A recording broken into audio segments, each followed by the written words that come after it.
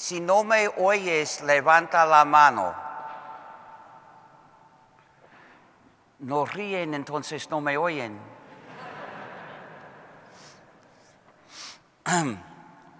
Primero tengo unas peticiones para ustedes. Número uno, si sacas fotos de mí, no las pongas en Facebook, ni en Instagram, ni WhatsApp.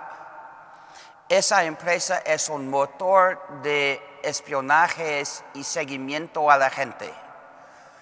No tiene a usuarios, sino a usados, a los cuales usa para recoger datos personales acerca de los demás. Si reconoce a gente en las fotos por sus caras o por ah, la parte posterior de la cabeza.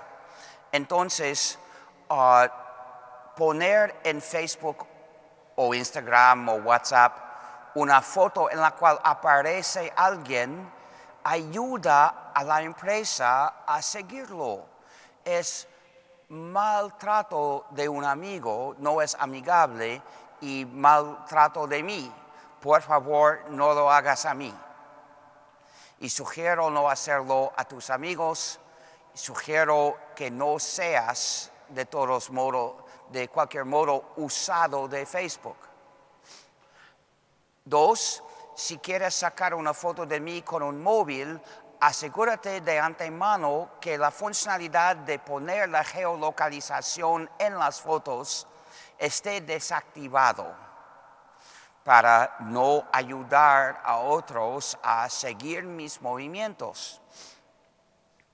Tres, si grabas esta conferencia como audio o video y quieres distribuir copias, por favor, únicamente en los formatos favorables al software libre, es decir, los formatos OGG o el formato WebM, asegúrate que el sitio de distribución de, la grabación permita bajar copias sin que el usuario ejecute uh, programas privativos ni siquiera programas privativos incluidos en la página web, como que es una práctica muy frecuente.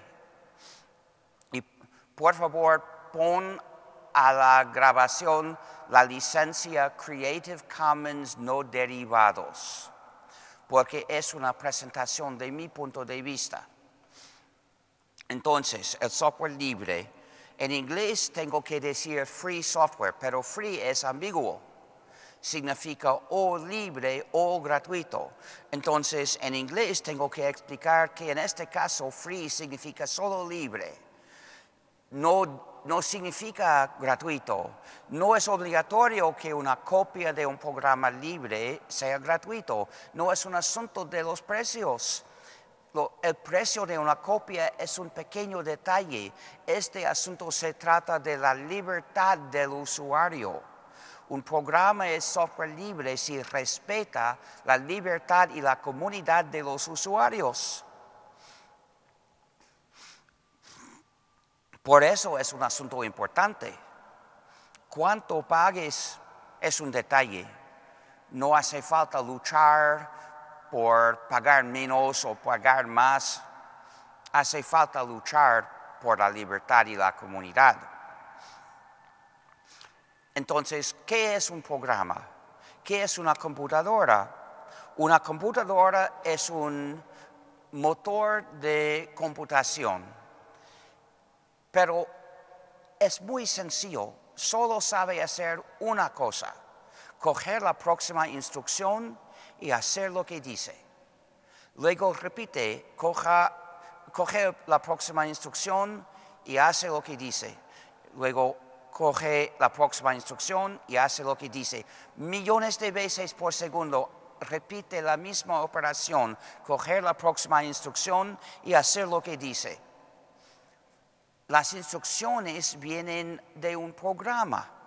Entonces, según qué instrucciones tenga el programa, la misma computadora puede hacer cualquier cosa.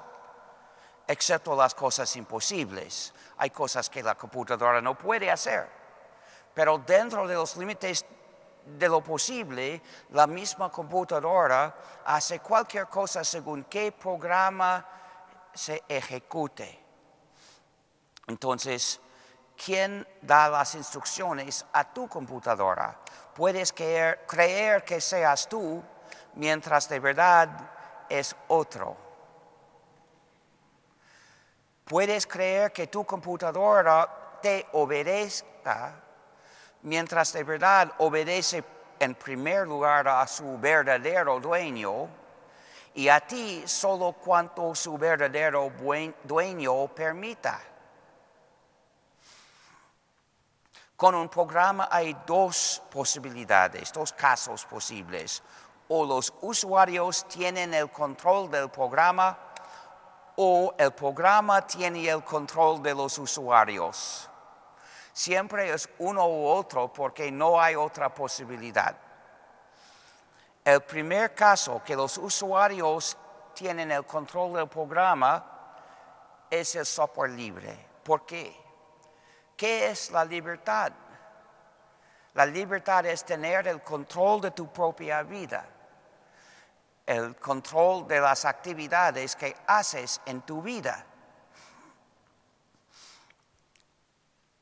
Pero si usas un programa para hacer la actividad, el control de la actividad requiere el control del programa. Entonces, cuando los usuarios tienen el control del programa, ese programa respeta su libertad y es software libre.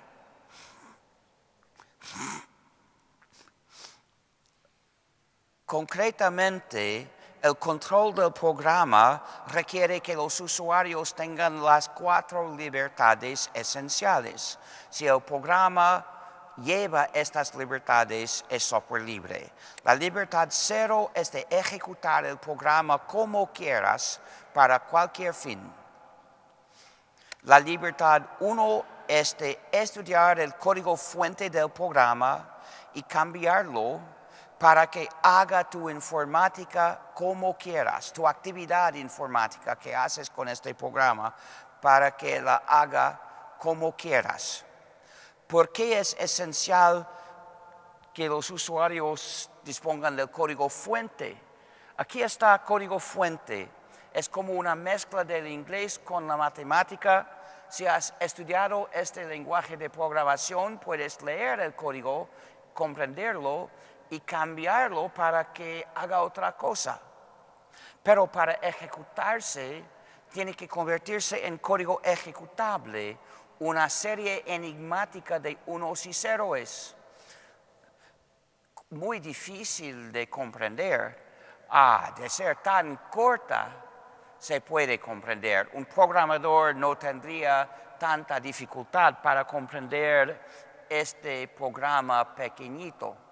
Pero para un programa real que tiene quizás 100 ah, mil líneas de código fuente, Comprender el código ejecutable es un trabajo enorme que se llama la ingeniería inversa y solo se hace como último recurso por ser tan difícil.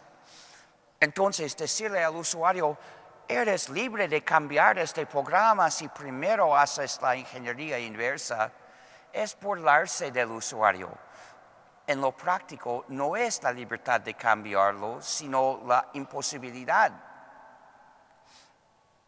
Entonces, la libertad uno al nivel práctico requiere que el usuario tenga el código fuente. Estas dos libertades proporcionan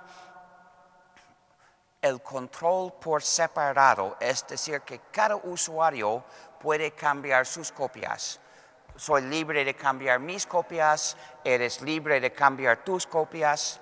Aquí están cuatro usuarios, de los cuales uno ejerce su libertad uno, cambiando el código fuente, entonces cambiando el programa, y otros tres usan el mismo programa tal cual, sin cambios. El control por separado es esencial, pero no basta porque la mayoría de los usuarios no saben programar, no son programadores, hacen otras cosas en la vida. Hay muchas cosas útiles o interesantes que hacer en la vida. No creo que todo el mundo tenga que saber programar. Pero ellos también merecen el control de su informática.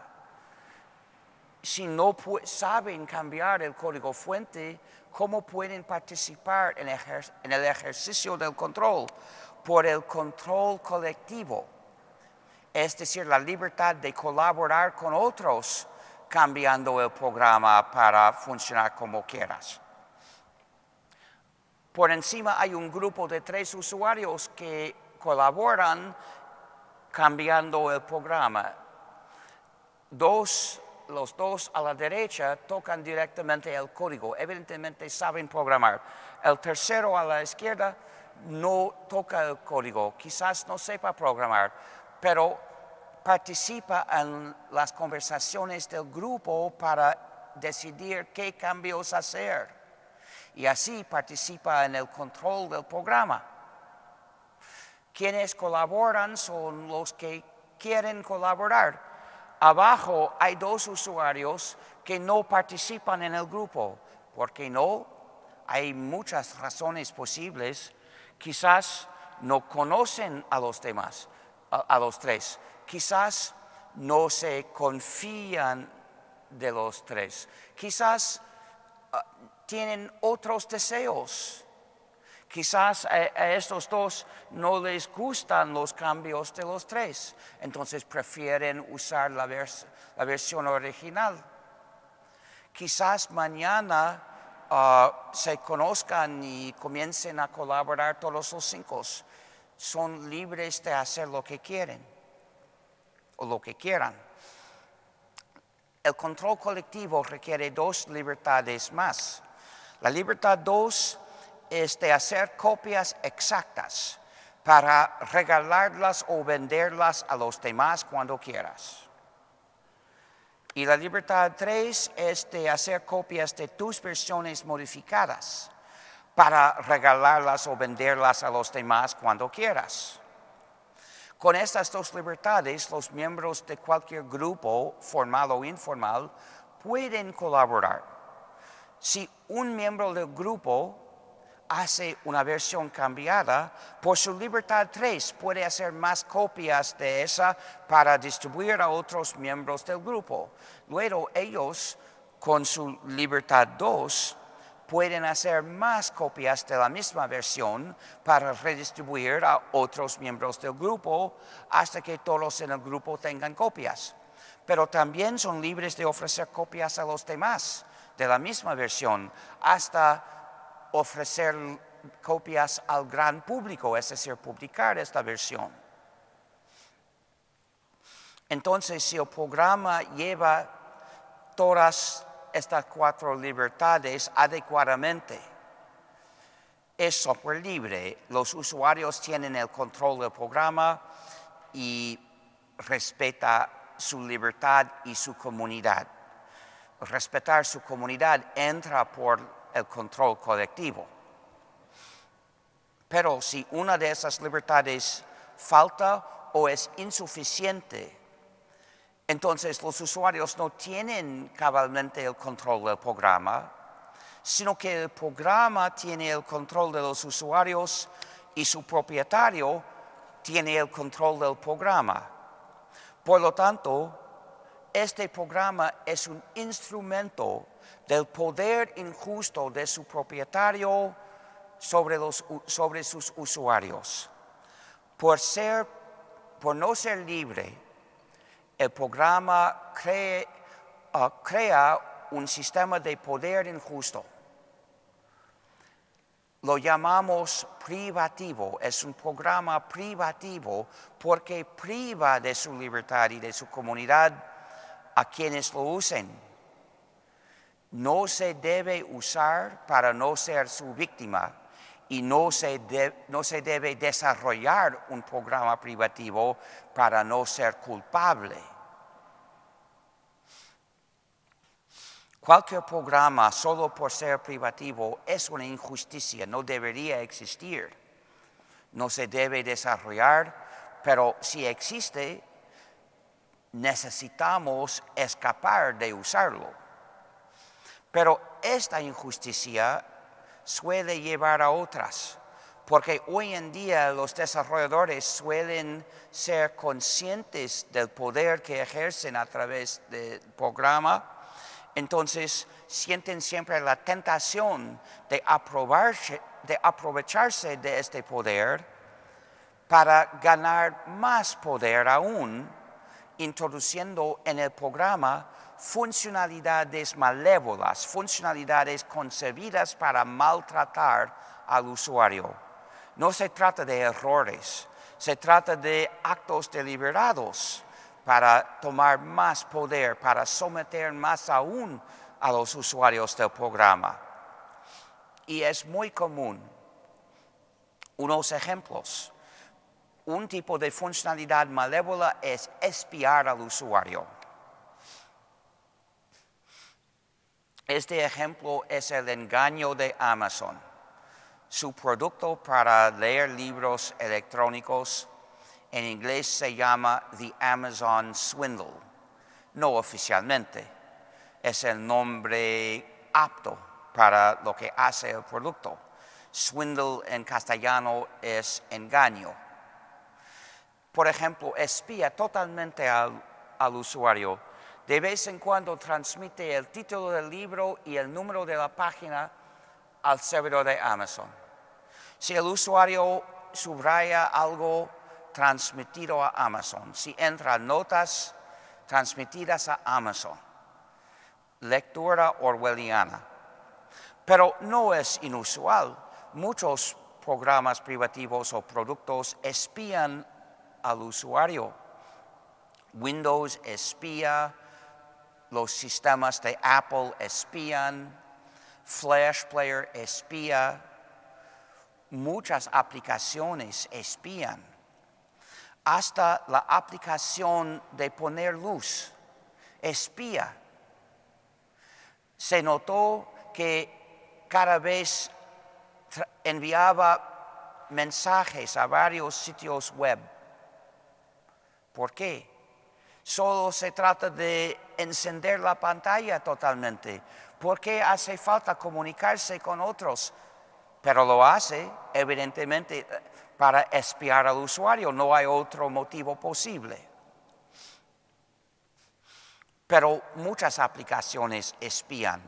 Todas las aplicaciones de streaming espían, porque cada uno Ah, tiene una relación con un servidor específico y requiere que el usuario se identifique y toma notas, toma nota de qué escucha o mire ese usuario.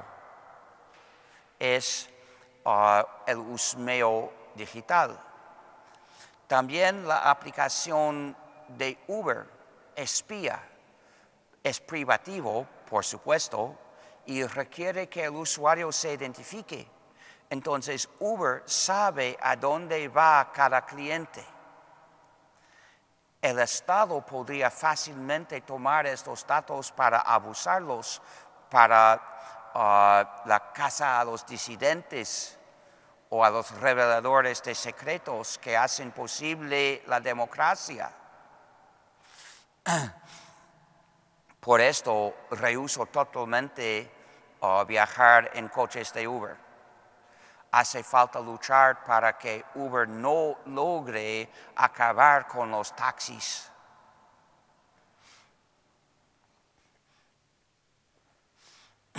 y muchos productos uh, físicos tienen software que espía al usuario. Este es el Fitbit. Y lo que hace el Fitbit es dar los datos personales al servidor de la empresa. Luego la empresa invita al usuario que compre sus propios datos personales de la empresa. Se supone que la empresa ofrece también los datos personales a otras empresas. Frecuentemente una empresa vende a otra todos los datos acerca de alguien excepto su nombre y dirección, etc. Pero la otra empresa sabe combinar estos datos con otros para determinar su nombre y su dirección, etc. Que uh, correlando estos datos con otros datos, puede saber que son de la misma persona y si una colección de datos tiene su nombre y dirección, entonces asocian todos los datos del producto con su nombre. Así, este es el fraude de los datos anonimizados. Se pueden fácilmente reidentificar.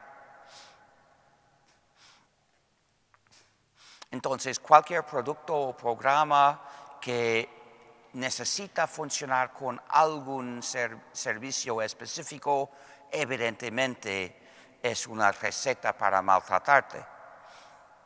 También hay la funcionalidad de no funcionar, de rehusar de hacer lo que los usuarios quieren.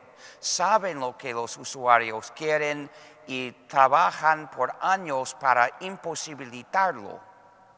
Se llaman los grilletes digitales.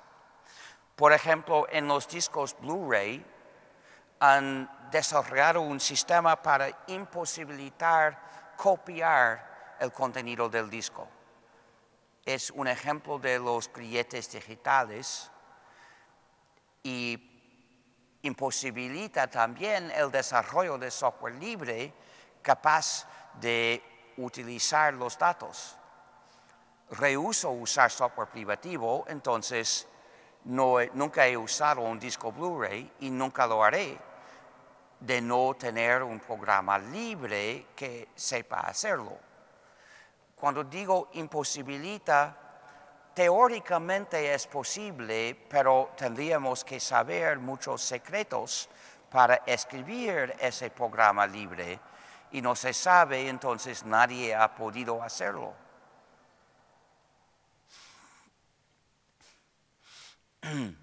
si han desarrollado un programa específicamente para restringirte por tu libertad, tienes que ah, batirte en contra. los clientes digitales se encuentran Uh, en Windows, en los sistemas de Apple, también en Android, también en Flash Player, en el engaño de Amazon y muchas aplicaciones. Hay también las puertas traseras, es decir, funcionalidades malévolas para recibir comandos a distancia para hacerle algo sucio al usuario, sin pedirle sin pedirle su aprobación de hacerlo. Un ejemplo está en el engaño de Amazon, una puerta trasera para borrar libros a distancia.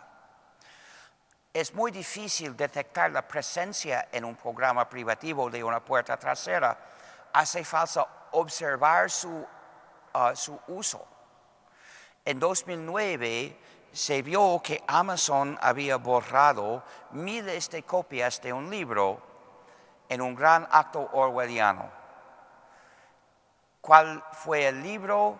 1984 de George Orwell. Había mucha crítica, entonces Amazon prometió no hacerlo nunca más ah, sin orden del Estado. Si has leído 1984, esa promesa no es muy reconfortante, pero, tampoco fue realmente una promesa. No tenía fuerza legal, solo fue unas palabras que decir para desanimar las críticas. Unos años más tarde, Amazon volvió a borrar libros a distancia sin siquiera orden del Estado. conocemos ah, puertas traseras demostradas en el sistema de los móviles de Apple, también en Android. También hay la censura Apple fue el pionero en la construcción de computadoras de uso general con censura de aplicaciones. Con el iPhone, el usuario no podía libremente instalar las aplicaciones de su elección, solo podía instalar las aplicaciones aprobadas por Apple desde la tienda de Apple. Apple practica esta censura según sus intereses, arbitrariamente, según sus intereses comerciales y según sus preferencias políticas. Los usuarios, cuando empleaban trucos para, para evitar la censura, para poder instalar en sus computadoras las aplicaciones de su elección no aprobadas por Apple, lo llamaban jailbreak, escaparse de la cárcel. Entonces, nuestro término para computadoras que censuran las aplicaciones es una cárcel. Y hoy en día Microsoft también construye computadoras cárceles. Ah, Apple fue el primero, pero Microsoft lo siguió unos años después. También hay puertas traseras universales. Una puerta trasera es universal si el propietario puede hacer cualquier cosa sin límites al usuario, porque una puerta trasera universal permite imponer cambios en el software. Por ejemplo, Windows tiene una puerta trasera universal por lo menos desde Windows XP existe la puerta trasera y Microsoft entonces puede hacer cualquier cosa al pobre usuario de Windows. Primero tiene que instalar un cambio de software para hacer la cosa deseada, luego el código lo hace. En Windows XP, Microsoft nunca admitió la presencia de esta puerta trasera, pero con Windows 7 anunció la presencia, ah, pero bajo otro nombre, se llama actualización automática. Es la misma cosa. Microsoft puede imponer cualquier cambio de software. Sabemos que en Windows hay una puerta trasera universal pero también en otros programas. Por ejemplo, ah, el engaño de Amazon tiene una. Y todos los teléfonos móviles, o casi todos los modelos, tienen una puerta trasera universal, por la cual es posible convertirlo en dispositivo de escucha que escucha todo el tiempo sin parar y transmite todas las conversaciones que oye. No hace falta hablar directo al micrófono para ser escuchado porque el teléfono puede escuchar todas las conversaciones en el cuarto. Si alguien aquí tiene un teléfono que ha sido modificado, está escuchándome ahora. Escucha todas sus conversaciones. Y si piensas ah, recuperar tu privacidad apagando el teléfono, ah, qué sorpresa, realmente nunca se apaga. El teléfono no tiene interruptor sino solo un botón para pedirle, por favor, o teléfono, apáguese. Pero una vez modificado así, el teléfono no se apaga, sino finge apagarse mientras sigue funcionando, escuchando y transmitiendo.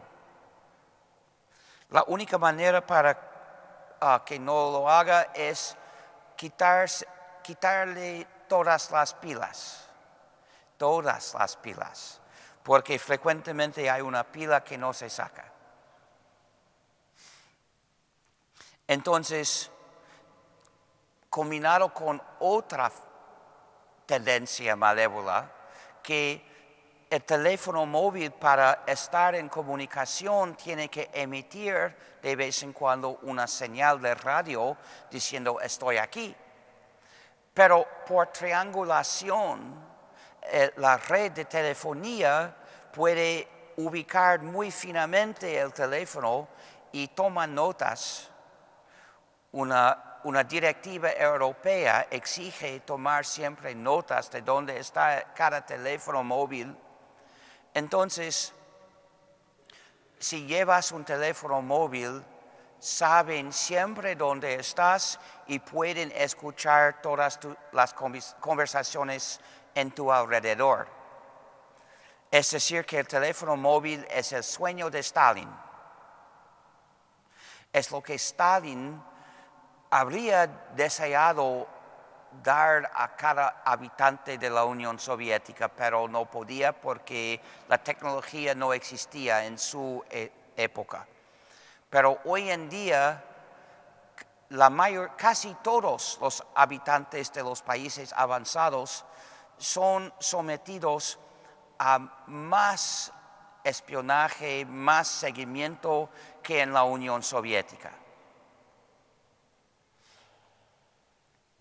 Entonces, cuando supe esto, decidí no tener teléfono móvil. Afortunadamente, tuve, suerte de aprender de estas funcionalidades malévolas antes de tener un teléfono móvil. Naturalmente dije, es horrible, no voy a llevar tal cosa nunca, nunca en mi vida. Y todavía no, no tengo uno. Hablo de vez en cuando por teléfonos móviles de otros. Así el gran hermano no sabe dónde estoy yo.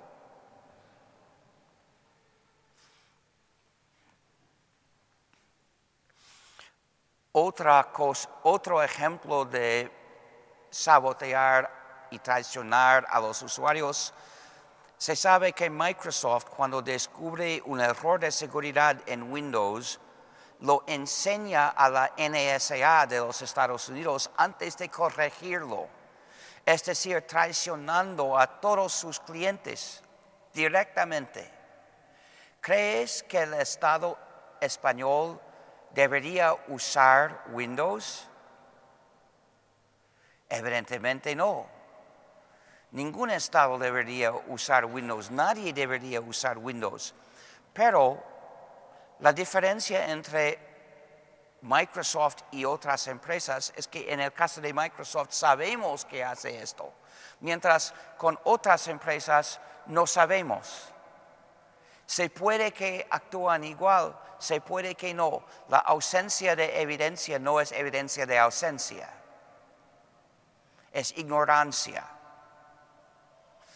Entonces, ves que no se debe confiar de un programa privativo. He presentado unos ejemplos, pero tenemos muchos más en la carpeta gnu.org slash proprietary.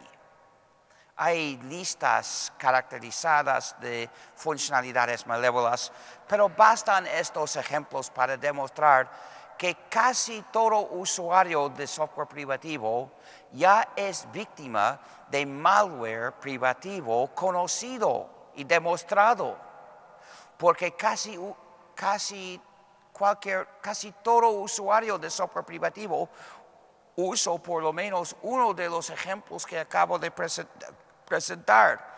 Entonces, los usuarios de, del software privativo casi todos son víctimas de malware.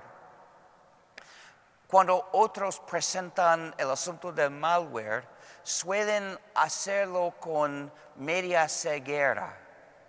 Es decir, hablan de los virus, de los programas que no deberían estar en la computadora, que maltratan al usuario, pero hacen caso omiso de los programas privativos que normalmente están en la computadora y fueron diseñados para maltratar al usuario. Son igualmente malware, pero hacen caso omiso de la mitad del asunto. ¿Por qué actúan así? Es para ganar más dinero. Han descubierto cómo ganar más a, la defensa de sus usuarios poniendo funcionalidades malévolas. Pero, aunque tengamos quizás 100 ejemplos en la carpeta gnu.org slash proprietary, hay cientos de miles de programas privativos de los cuales no sabemos nada. Se puede que sean de malware, se puede que no. Entonces cada uno es malware posible. Un programa privativo o es malware demostrado o malware posible. Pero nunca es posible demostrar que no es de malware. Supongo que dentro de los cientos de miles de programas privativos hay algunos que no sean malware, pero no podemos identificar a ninguno. Hay siempre que tratar un programa privativo como posiblemente malware, es decir, algo de sospechar.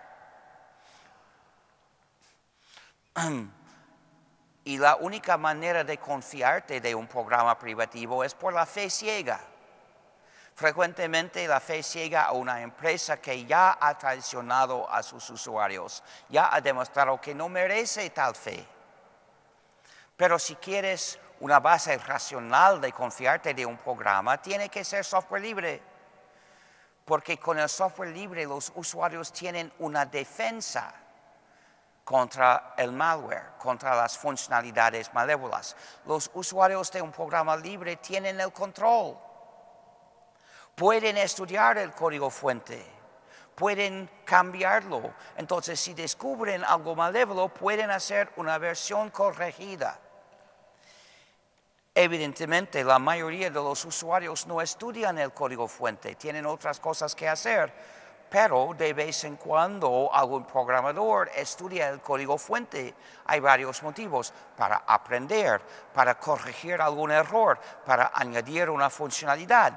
Haciéndolo por cualquier motivo, tienen también la oportunidad de notar cualquier cosa malévola que haya y lanzar un escándalo. Alguien corregirá el problema, publicará su versión cambiada y todo el mundo migrará a través del tiempo a la versión corregida. Y nosotros los contribuyentes lo saben. Sabemos que no tenemos poder sobre los usuarios. Entonces, este, esta conciencia nos protege de la tentación los desarrolladores del privativo sienten tanta tentación porque tienen poder y lo saben. Por no tener poder, estamos a salvo de esta tentación. Entonces, ah, usar un programa privativo es invitar que el desarrollador te maltrate.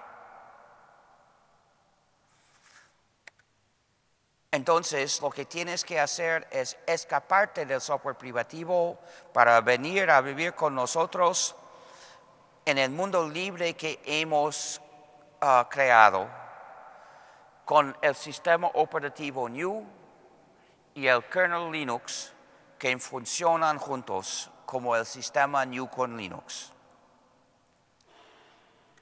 Lancé el desarrollo de New en el año 84 con la meta de hacer posible usar computadoras en libertad. La computadora no, hace nada sin sistema operativo instalado, pero en la época todos los sistemas operativos eran privativos. Fue imposible comprar una computadora nueva y usarla en libertad porque teniendo instalado un sistema operativo privativo perdías tu libertad. En 91, el sistema New fue casi completo. Faltaba un componente esencial, el kernel. En el mismo año, el señor Torvalds comenzó el desarrollo de un kernel es decir, Linux. En 91 Linux fue privativo, llevaba una licencia que no otorgaba completamente las cuatro libertades. Pero en 92 cambió la licencia, publicó el código fuente de Linux bajo una licencia libre. Entonces, ah, Linux fue libre y fue posible usar Linux para llenar el último hueco en el sistema New, haciendo la combinación New con Linux. En inglés, el nombre se pronuncia GNU. Es una sílaba, pero me dicen que en castellano es difícil de pronunciar eh, esa palabra GNU. Entonces se pronuncia new como si comenzara por ñ. Y es un chiste, es un acrónimo recursivo. GNU significa GNU's not Unix o GNU no es Unix. y es humor del programador. Pero lo importante es que es esta combinación New con Linux es el resultado de una campaña para libertar a todos los usuarios de la informática. Pero muchos erróneamente llaman la combinación como Linux, es decir, no reconocen nuestro trabajo y provocan confusiones, porque cuando dicen Linux, solo un experto puede saber si se trata del núcleo Linux o del sistema entero que es New con Linux. Siempre hay confusiones cuando un artículo dice Linux. Para evitar las confusiones y para reconocer nuestro trabajo, por favor no caigas en ese error. Por favor, llámalo New con Linux danos crédito igual. Comenzamos el desarrollo del sistema, desarrollamos la contribución más grande de todas las contribuciones, pienso que merecemos crédito igual. Es la única manera de tratarnos equitablemente, por favor. En principio, New con Linux es un sistema libre, pero en la práctica frecuentemente no, porque hay miles de distribuciones, de versiones del sistema New con Linux. Se llaman distribuciones, maneras de distribuir copias de New con Linux. Cada distribución tiene a sus propios desarrolladores que deciden qué poner en su distribución suelen añadir cosas al sistema New con Linux, estos programas pueden ser libres o no. Pero si ponen un programa privativo en su distribución, la distribución en su totalidad ya no es libre. Un sistema operativo es una colección de miles de programas. Si en una colección un componente es privativo, la colección también es privativo, porque para que la colección respete la libertad del usuario, cada componente tiene que respetar la libertad del usuario. Si un componente no es libre, si un componente priva de la libertad es privativo, privativo, la colección en su totalidad también priva de, la libertad a través de ese componente. Lo triste es que casi todas las distribuciones son privativas y hay muy pocas libres. Para más detalle, véase gnu.org slash distros para todos los detalles y qué distribuciones son libres y en las distribuciones no libres muy conocidas, como qué falta generalmente a cada una. también nuestros criterios concretos para ah, reconocer como libre una distribución. ¿Cómo hace libre un programa? Hace falta ponerle una licencia libre. Según la ley muy injusta actual del derecho de autor, cualquier obra solo por ser escrita lleva automáticamente un derecho de autor y por defecto la ley de derecho de autor prohíbe cambiarlo, copiarlo, distribuirlo y en muchos países frecuentemente hasta ejecutarlo. Prohíbe. ¿Cómo puede ser libre ese programa? Solo por una declaración formal por parte de los tenedores del derecho de autor del código. Una declaración otorgando a cualquier usuario poseedor de una copia las cuatro libertades esenciales. Libertad cero de ejecutar el programa como quieras. Libertad uno de estudiar y cambiar el código fuente para que haga tus actividades como quieras. Libertad dos de hacer copias exactas para regalar o venderlas cuando quieras. Y libertad tres de hacer copias de tus versiones modificadas para regalarlas o venderlas cuando quieras. Si la licencia otorga adecuadamente estas cuatro libertades, es una licencia libre. Hay varias licencias libres y tienen diferencias importantes. Por ejemplo, hay licencias débiles que dicen más o menos, haz lo que quieras con este código. Y parece muy amable, pero no es sabio, porque permite también que una empresa tome todo ese código para ponerlo en un programa privativo, es decir, emplearlo para someter a gente. El resultado puede ser, y a veces es, que casi todos los usuarios no usan el programa libre, sino la versión privativa de una empresa. Es lo que IBM hizo con el programa Apache para servidores web. Apache mismo es libre, pero lleva una licencia débil. IBM publica una versión modificada privativa y una gran fracción de los usuarios usan esa versión privativa. Al ver este problema, cuando tenía en 85 un programa GNU que publicar, buscaba la manera de evitar que eso suceda con mis programas. Inventé la técnica que se llama el izquierdo de autor, o en inglés copyleft. Copyright, copyleft. Derecho de autor, izquierdo de autor.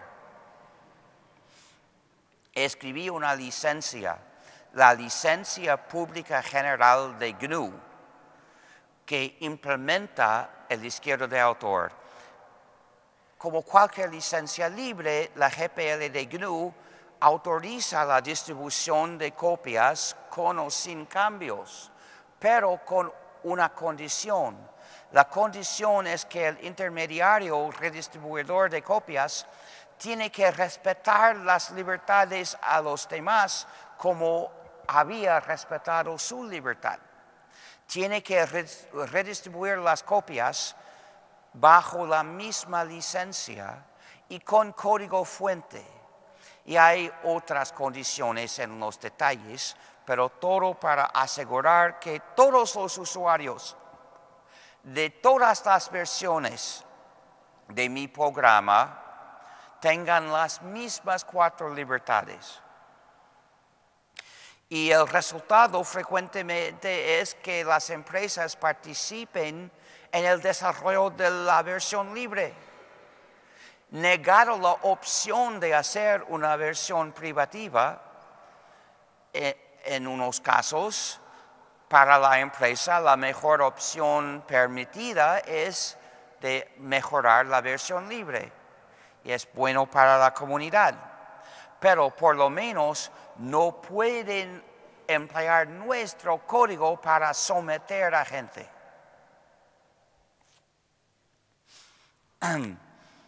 si instalas únicamente software libre en tu computadora, todavía estás en peligro de ejecutar programas privativos cuando navegas, porque muchas páginas web contienen programas para instalarse en tu navegador y ejecutarse en tu computadora. Estos programas pueden ser libres o privativos.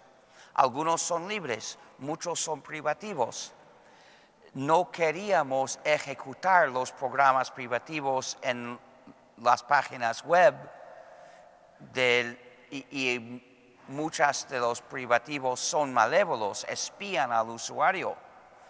Existen para reconocer cuando el mismo usuario vuelve o va a otro sitio porque hay redes de publicidad que tienen sus tentáculos en muchos sitios web y si visitas un sitio, luego otro sitio, la red de publicidad, si puede ejecutar sus programas privativos, puede determinar que es el mismo usuario ambas veces.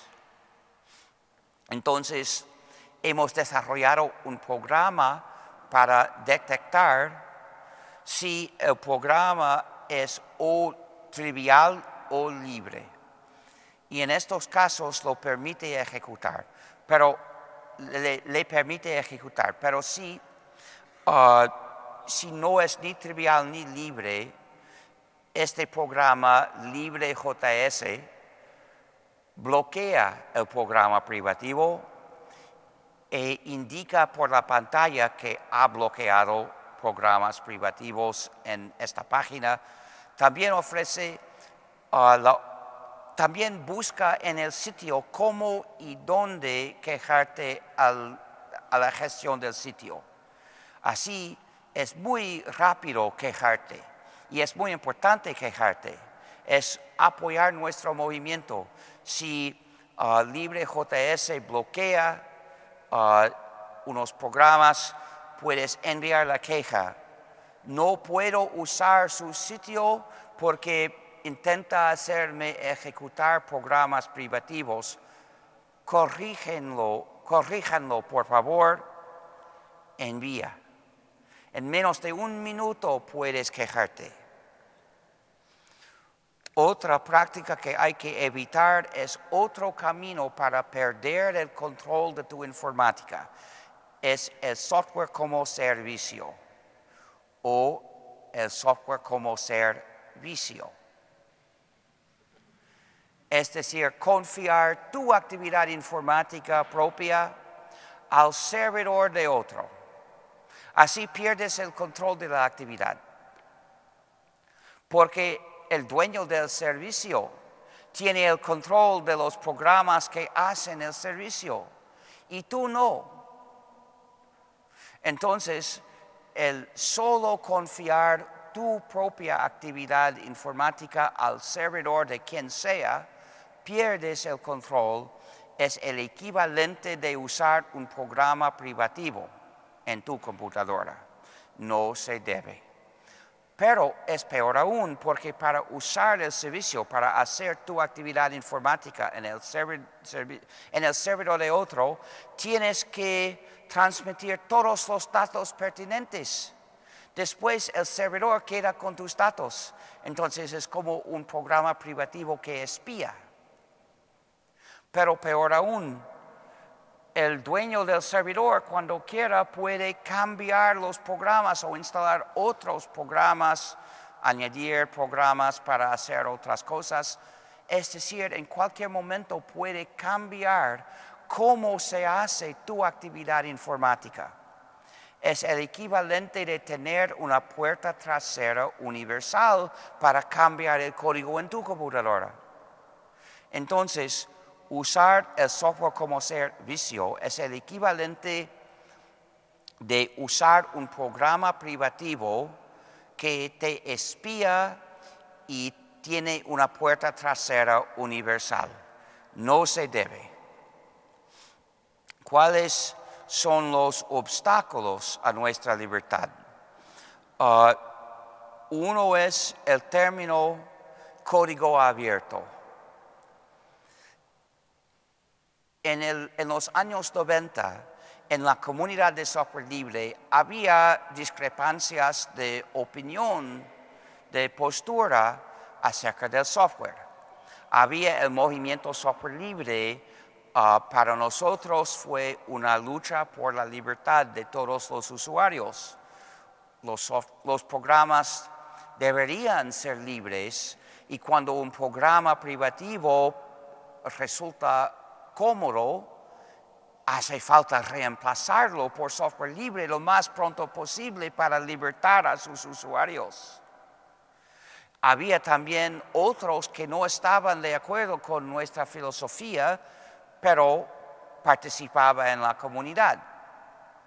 En 98, los que no estaban de acuerdo inventaron otro término, open source o código abierto, para separar nuestros programas de nuestra filosofía, para poder hablar de los programas mientras hacían olvidar nuestra filosofía, para escondernos con nuestra filosofía. Es lo que hacían con su nuevo término inventaron otro discurso basado en otros valores. Para nosotros los valores son libertad y comunidad. Para ellos el valor es comodidad práctica y nada más profunda. Entonces decimos, si desarrollas y distribuyes un programa es tu deber moral respetar la libertad de los usuarios de cambiar y redistribuir el programa. Pero ellos ah, no, quieren promover nuestra, ah, nuestro punto de vista ética. Ellos dicen, los de código abierto dicen, si desarrollas y distribuyes un programa, estamos de acuerdo con que niegue uh, toda la libertad a los usuarios, pero podría ser de tu interés práctico permitir que los usuarios cambien y redistribuyan el programa. Aquí está la diferencia. Ellos no atreven negarle a las empresas el poder sobre la gente. Solo quieren sugerir que ejerzan su poder de manera más ah, amable. Pero nunca insistirían. Una diferencia profunda. En la, en la práctica no hay mucha diferencia entre código abierto y software libre como criterios para programas son casi equivalentes, no 100%, un poquito menos, pero casi todos los programas de código abierto son libres. Y que sepa yo, todos los programas libres son de código abierto. Entonces, en la práctica la diferencia es pequeña, pero no cero. Pero en la filosofía la diferencia es grande y profunda pero la mayoría estaba de su lado en 98. Casi todas las empresas adoptaron el término código abierto, los políticos y los periodistas casi todos adoptaron su término. Desde entonces en los medios importantes casi solo se oye código abierto. Es un esfuerzo hoy en día informar a los usuarios de nuestros programas que hay el movimiento software libre que todavía existe porque algunos han dicho que solo ah, había sido un precursor del código abierto.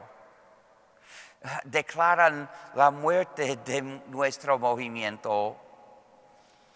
Ah, suelen hablar mucho de nosotros con el término código abierto, entonces muchos nos toman por apoyadores del código abierto.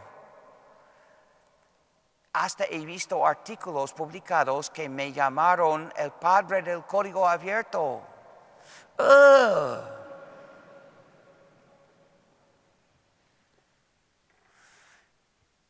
Es como decir que ah, apoyo el Partido Republicano. Entonces envío una carta al editor diciendo, si soy el padre del código abierto, fue concebido con la inseminación artificial usando semen robado sin mi consentimiento. Luego presento el movimiento software libre, su nombre y sus ideas. Este es uh, la meta de la carta, que los lectores sepan de nuestro movimiento. Pero me gusta comenzar con un chiste. Otro obstáculo es cuando los fabricantes de los productos rehusan decirnos cómo usarlos. Su modo de empleo es secreto. En vez de mostrarnos su modo de empleo, nos ofrecen un programa privativo para gestionar el producto diciendo, úsalo y cállate. Pero no podemos usar software privativo, nos privaría de la libertad. Entonces, hace falta la ingeniería inversa para analizar su programa privativo o su funcionamiento, qué órdenes da al producto para saber del modo de empleo del producto. Por fin, no hace falta realmente saber qué dice su programa, hace falta saber el modo de empleo del producto. Luego, otro puede escribir un programa libre para gestionar el producto. Este campo es muy importante para contribuir al movimiento software libre. Si quieres hacer una contribución importante técnica, esta es la manera. Haz la ingeniería inversa. Las universidades deberían enseñar la ingeniería inversa y también es una carrera profesional muy lucrativa. ¿Cómo no enseñarla? Hay mucha demanda y pocos lo que lo hacen. Ah, ¿Qué está? Oh, sí. Ah, pero si quieres hacer una contribución muy importante al movimiento software libre, da, da conferencias, difunde las ideas del software libre, es más escaso que la programación. En cuanto a la educación, las escuelas de todos los niveles, del jardín de niños a la universidad, también la educación para adultos, tiene que enseñar a usar únicamente software libre, porque tienen una misión social de educar a buenos ciudadanos de una sociedad fuerte, capaz, independiente, solidaria y libre en la informática, es decir, uh, graduar a usuarios habilitados al software libre. Pero no solo uh, enseñar a gente a usar el software libre, sino explicarle por qué los motivos cívicos para elegir únicamente software libre tienen que enseñar para que comprendan no solo los programas libres, sino la libertad.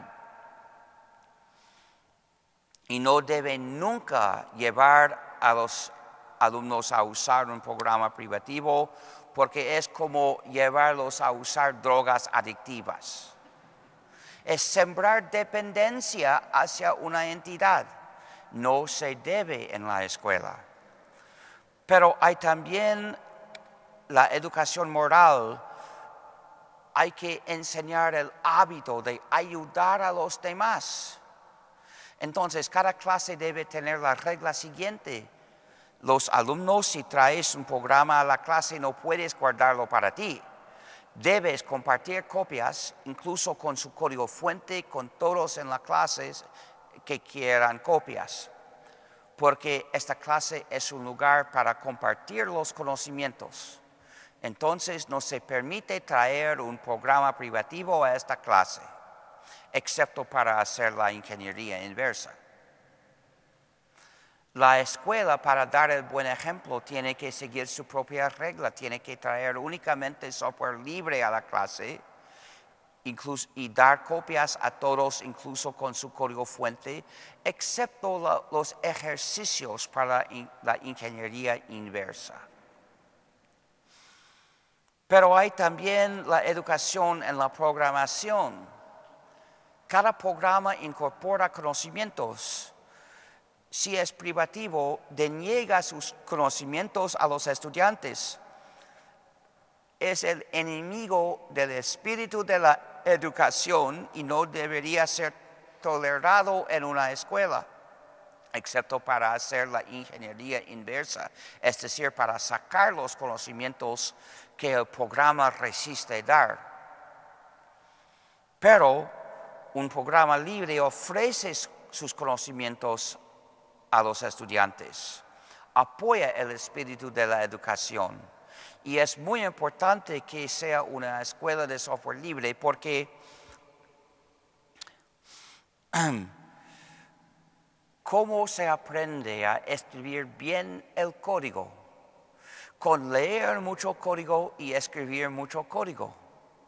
Solo el software libre ofrece la oportunidad de leer mucho código de los programas grandes que se usan. Luego hay que escribir mucho código. Para aprender a escribir bien el código para programas grandes, hay que escribir mucho código para programas grandes. Pero para, para comenzar hay que comenzar por lo pequeño. ¿Qué significa lo pequeño? para escribir código para programas grandes. No es escribir programas pequeños, ni siquiera es comenzar. No, lo pequeño en escribir código para programas grandes es escribir pequeños cambios en programas grandes. Luego puedes avanzar a escribir cambios más grandes, siempre más grandes. Y solo el software libre ofrece la oportunidad de escribir cambios en los programas grandes que se usan. Cualquier escuela puede, hacer, puede ofrecer la oportunidad de hacerte maestro del arte de la programación si es una escuela de software libre. Entonces, si tienes una relación con una escuela, si eres estudiante o profesor o empleado o administrador o padre de estudiante, es de tu responsabilidad militar por la migración de la escuela al software libre. Ninguna excusa para no migrar es adecuada.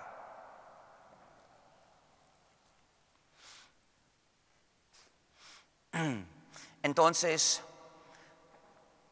hay que concientizar a otros en relación con la escuela para que se unan a, la campaña de migración. Hay que siempre buscar nuevos caminos.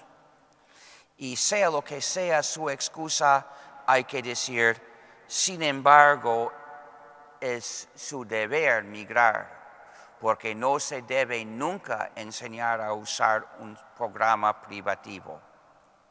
No se debe nunca implantar dependencia en el futuro de nuestro país. Por fin, los derechos humanos dependen los unos de los otros.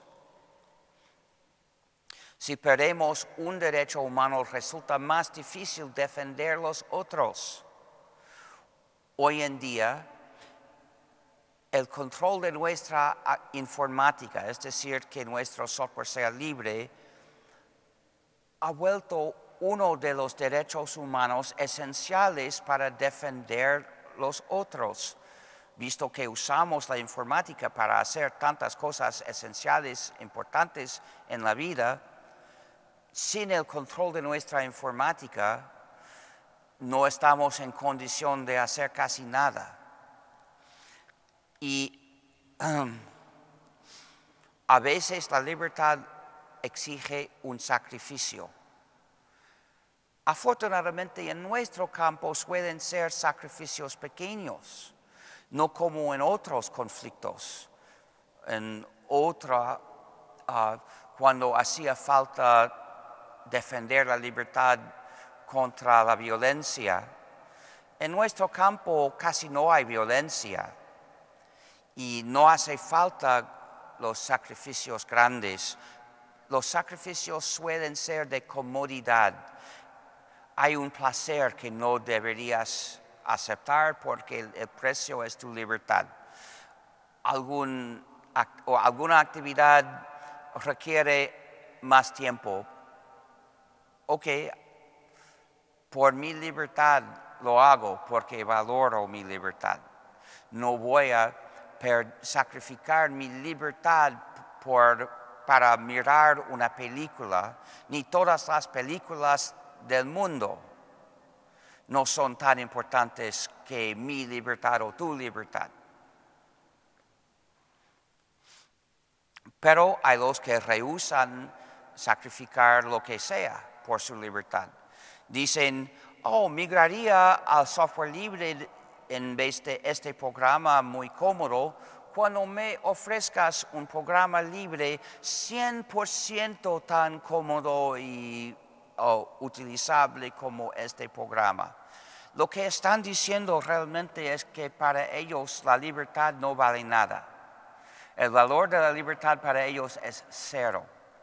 No podemos cambiar su opinión, pero podemos citarlos como ejemplos imbéciles.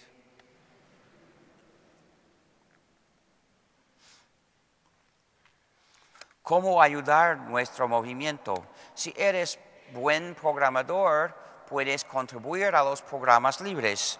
Te sugiero contribuir a 15 proyectos de manera importante antes de lanzar tu propio proyecto, así sabrás cómo gestionar tu proyecto. Pero no todo el mundo tiene talento de programación y hay otras maneras igualmente importantes para contribuir. Por ejemplo, puedes organizar ah, el movimiento localmente, puedes dar conferencias, es muy importante, pero también puedes ser organizador, puedes mantener el grupo en función. También es necesario Puedes persuadir las escuelas y los estados que migren al software libre. En cuanto a las escuelas, ya he, explicado, pero hay una carpeta gnu.org slash education que explica más. Los estados deberían usar únicamente software libre porque el Estado existe por el pueblo. Todo lo que hace legítimamente hace por el pueblo. Entonces, tiene la responsabilidad de mantener siempre su control de su informática para asegurar que se haga correctamente por el pueblo. Hace su informática por el pueblo. Si el Estado cede el control de la informática del país es incumplimiento de su responsabilidad ante el pueblo de mantener el control de esa informática. Entonces, tiene que emigrar lo más pronto posible.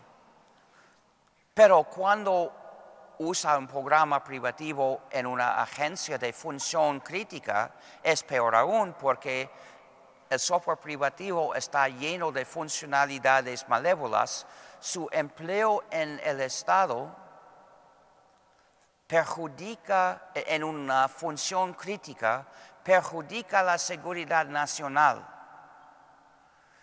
En un programa privativo no es posible saber si tiene una puerta trasera, ni ni siquiera investigar para averiguar si tiene funcionalidades malévolas. La única manera de mantener la seguridad nacional es exigiendo que todo el software sea libre. Para la lista de ah, políticas del Estado que proponemos para migrar al software libre y respetar la libertad de los habitantes del país, véase gnu.org slash government. Si eres usuario experto, puedes ayudar a los demás usuarios. Es también una contribución importante. Puedes lanzar un grupo de usuarios new con Linux o participar en un grupo existente. Si hay un grupo de usuarios New con Linux que se llama erróneamente grupo de usuarios de Linux, puedes explicarles por qué ah, para ser equitable tienen que cambiar de nombre.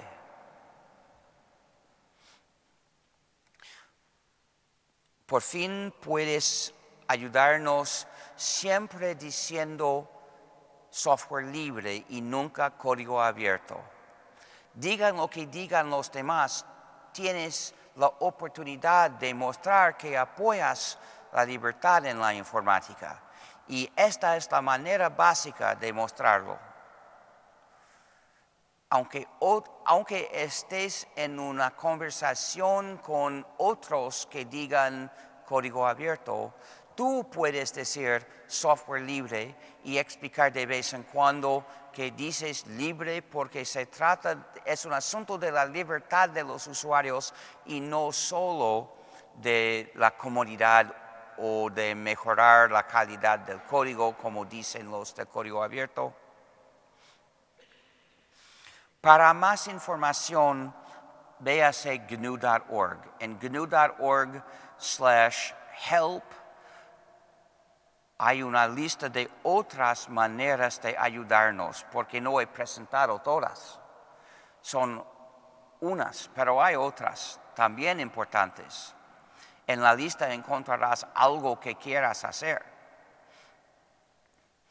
También hay gnu.org slash licenses con toda la información acerca de las licencias libres sus diferencias, cuándo usar cada tipo de licencia, etc. y cómo usarla. En gnu.org slash philosophy encontrarás muchos artículos ah, sobre, sobre, asuntos filosóficos, éticos, acerca del software libre. También hay gnu.org slash distros que explica las distribuciones libres y no libres. También gnu.org slash gnu que presenta la historia del sistema GNU.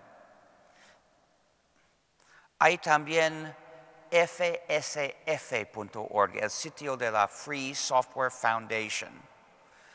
En este sitio puedes encontrar campañas políticas que puedes firmar, también recursos útiles para desarrollar, usar o distribuir software libre, también nuestra tienda y donde hacer donaciones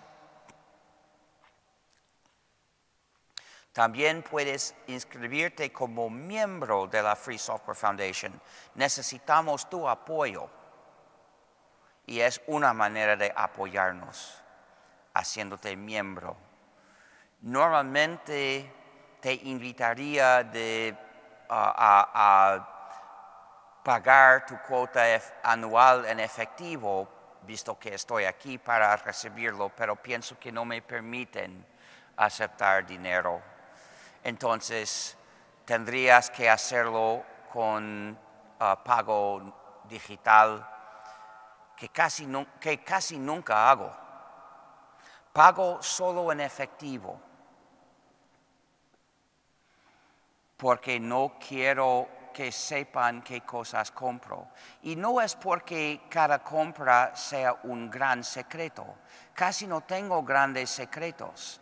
Es porque quiero oponerme al espionaje general a la gente. No creo que los estados tienen motivos especiales, específicos para seguirme a mí sino que siguen a todo el mundo y es una gran injusticia.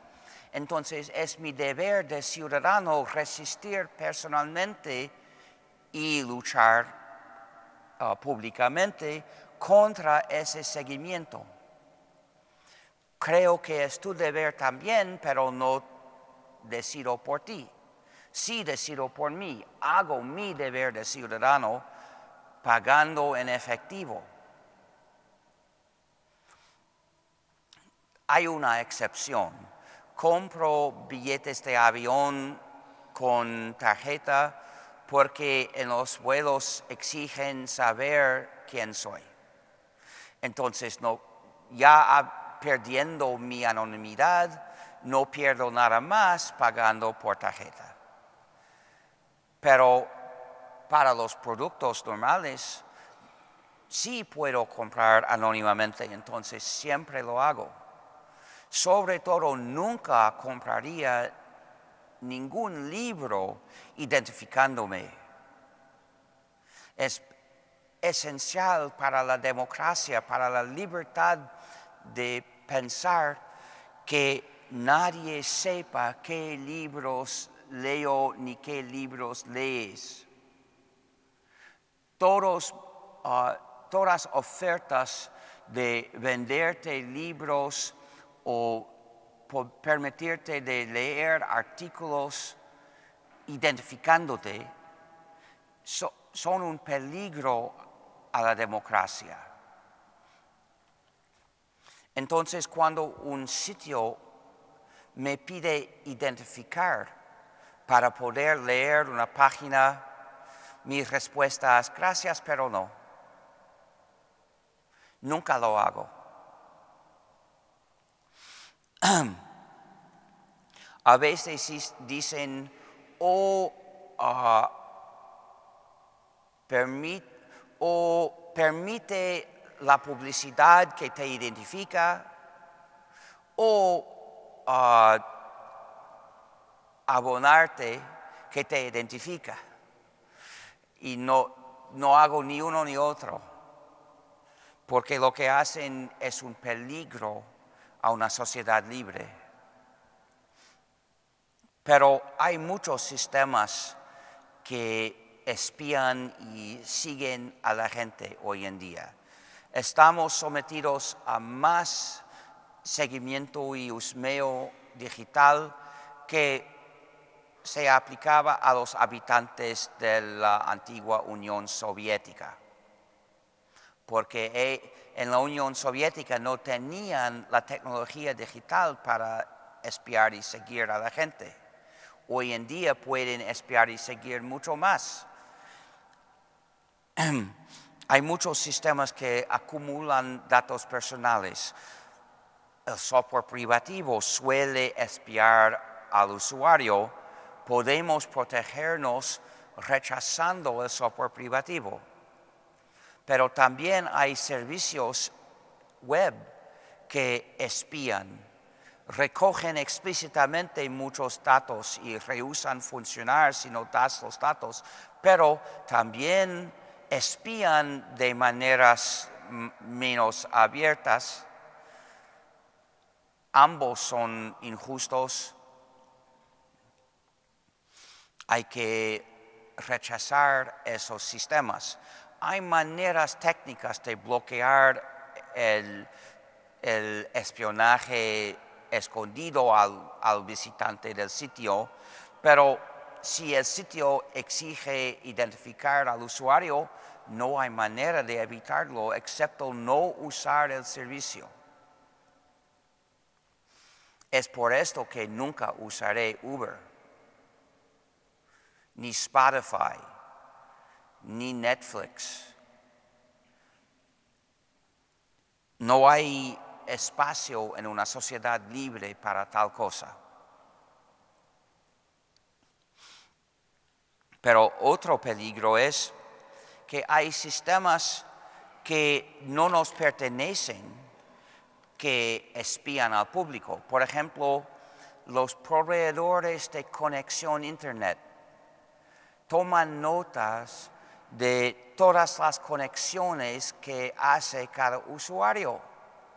Es seguimiento orwelliano muy peligroso a la democracia y se hace por causa de una directiva europea.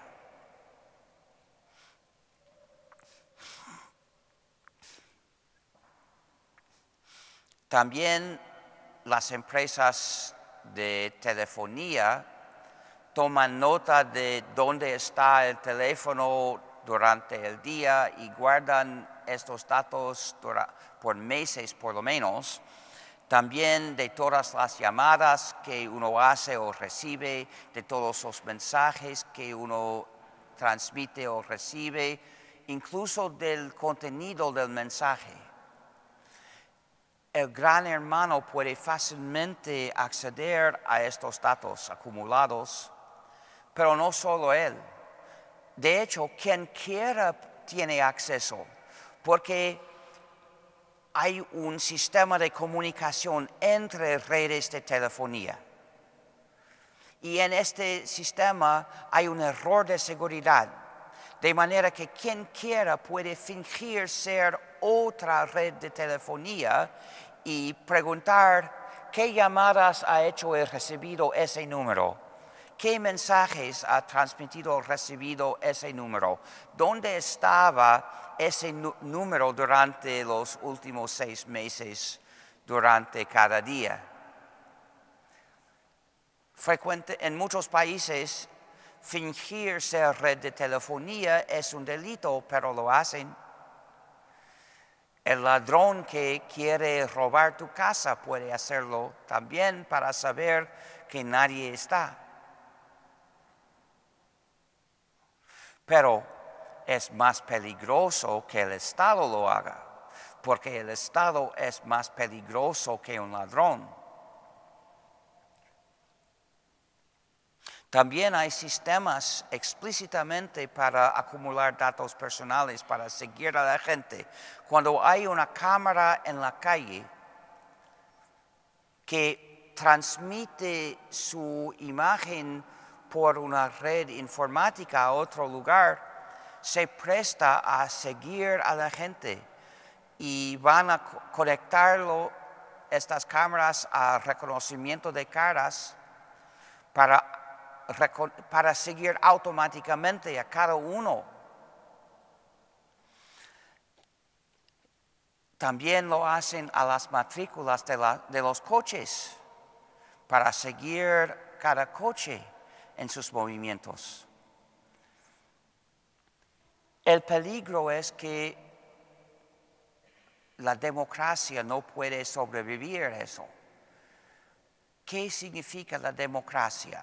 que el pueblo tiene el control de las actuaciones del Estado.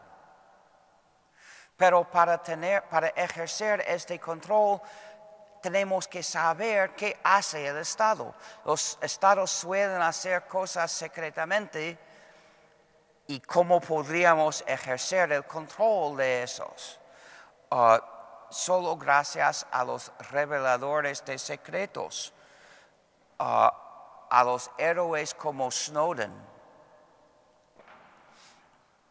Pero el Estado suele llamar los criminales para ponerlos en prisión. Si puede, si el Estado logra identificar al revelador de secretos, puede ponerlo en prisión, sería demasiado peligroso revelar secretos y no sabremos qué hace realmente el Estado. Entonces, para mantener la democracia, hace falta hacer bastante seguro ser revelador de secretos. Es decir, tenemos que disminuir el nivel general de espionaje y seguimiento a la gente hasta que el Estado ya no pueda identificar a los reveladores de secretos. Si el Estado sabe generalmente quién va dónde y quién se comunica con quién, puede siempre identificarlos. Entonces hay que bloquear que el Estado lo sepa. Hay que, hay que adoptar leyes prohibiendo los sistemas por los cuales el, Estado podría saber tanto. Hay que mantener físicamente que los sistemas no sean capaces de identificar ni seguir a todo el mundo. Hay que mantener los sistemas para comunicación, para conversaciones anónimas. Comprendo que el Estado suele decir que quiere saber todo de todo el mundo, acerca de todo el mundo para evitar terrorismo. Pero el Estado es más peligroso que el terrorismo. El Estado tiene a miles de personas armadas y si decide ah, emplearlas, puede hacer mucho más violencia que los terroristas.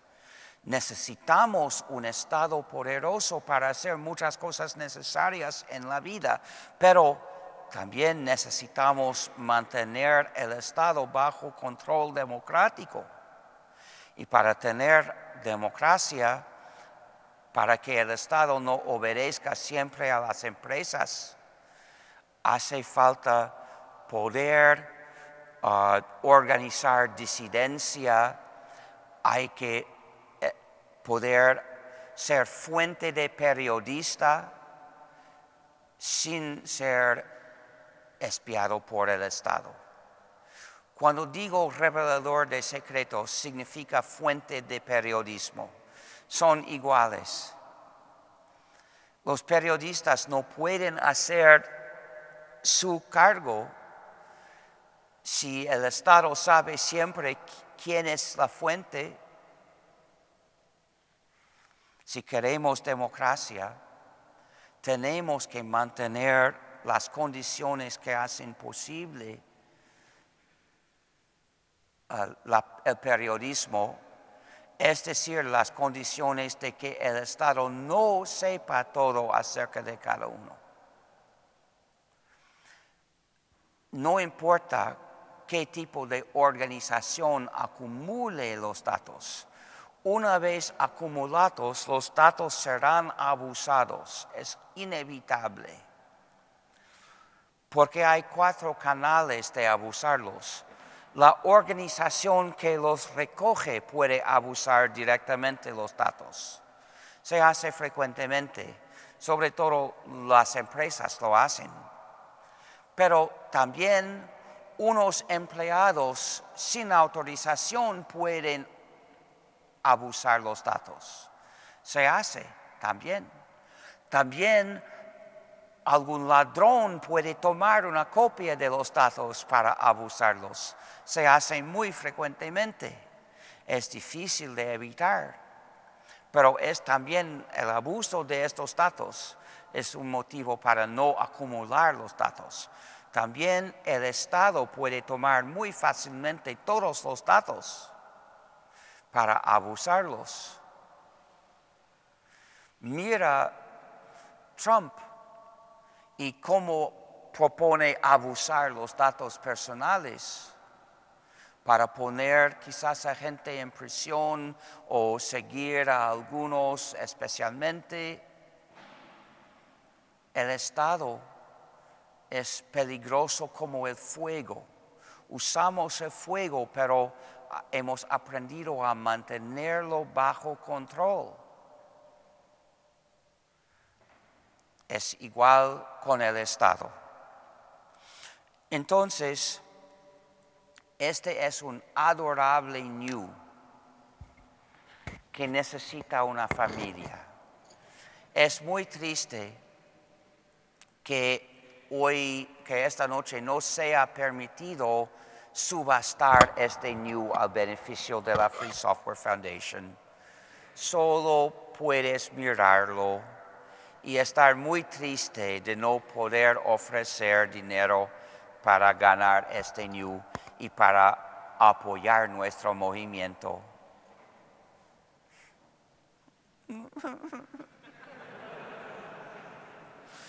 Entonces,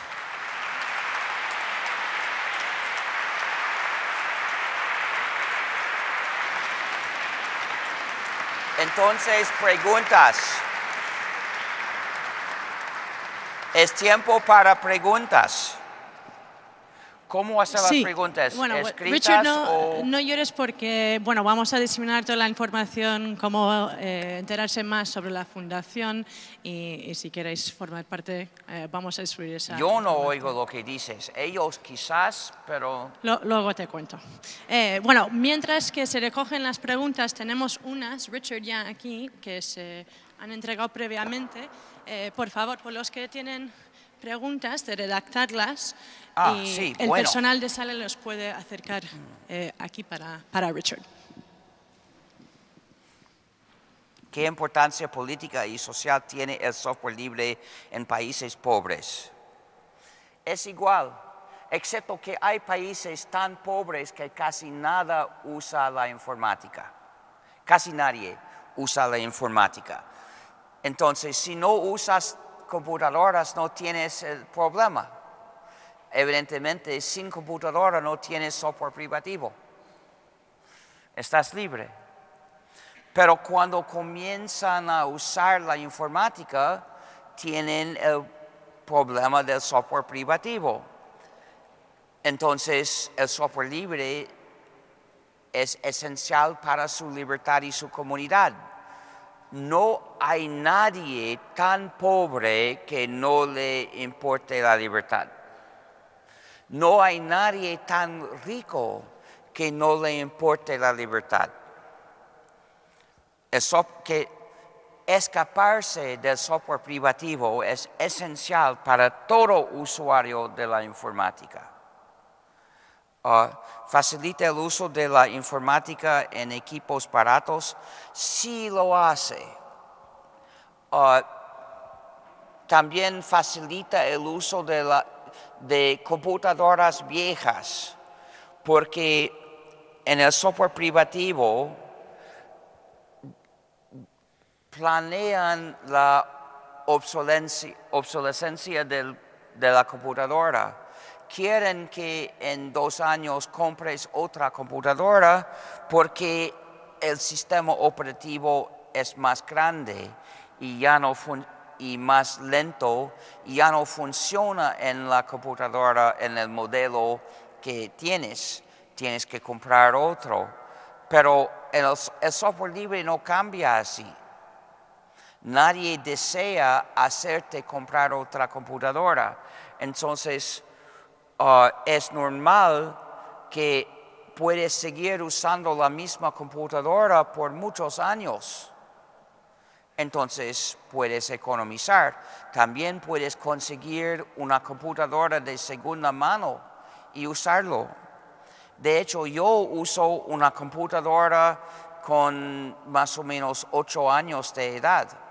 Es un modelo ah, viejo que elegido porque funciona a todos los niveles sin, sin software privativo. No solo las aplicaciones, no solo el sistema operativo, no solo los drivers, sino también el, el software de iniciación. A todos los niveles el software es libre, pero es tan viejo que ya no se vende ese modelo. Hay empresas que ya venden computadoras con software libre instalado. Y antes vendían este modelo, pero ya venden un modelo más nuevo. ¿Conocen los políticos y los responsables educativos la existencia y posibilidades del software libre? La mayoría no se interesan, pero algunos sí. Ah, hay interés en el País Vasco para migrar al software libre, a ver cuánto puedan hacerlo, pero por lo menos eh, hay el deseo.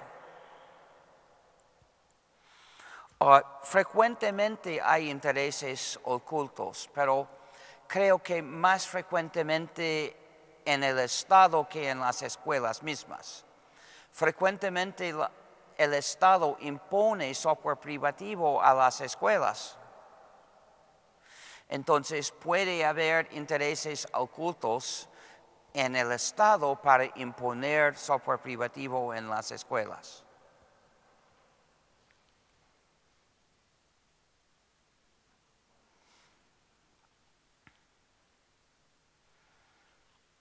¿Qué hábitos de navegación hay que tener para asegurar nuestras libertades? No confiar tus actividades a los servicios sobre todo. Por ejemplo, no usar Google Docs, porque Google Docs te invita a hacer la edición de documentos o de tableo uh, y otras actividades informáticas que podrías hacer dentro de tu computadora con software libre. Uh, Google Docs te invita a confiar estas actividades al cerebro de Google y Google sabe todo. También para protegerte de seguimiento de navegación hay que navegar a través de Tor o de una red ah, privada virtual para que tu proveedor no sepa a qué sitio conectas. Y también hay que bloquear los trucos de seguimiento en las páginas mismas. De esto hay, por ejemplo, redes de publicidad ponen cosas en las páginas. Facebook pone los botones like en las páginas. Si visitas una página y ves un botón like, Facebook sabe que tu máquina ha visitado esa página sabe que es tu máquina por su dirección IP. Y sabe por qué página tu navegador pide el botón like, porque el protocolo de navegación incluye decir cuando pide algún recurso por qué página es. Entonces, nuestro navegador IceCat bloquea esas medidas de seguimiento.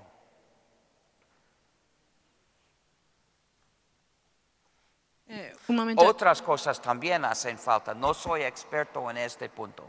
No, que hubo una pregunta en las páginas web que dijo Richard cómo buscar más información o hacerse socio o donaciones, que lo estamos escribiendo en la pantalla y dejándolo eh, a lo largo de la charla. Ah, ¿Qué opinión le merece la distro Debian?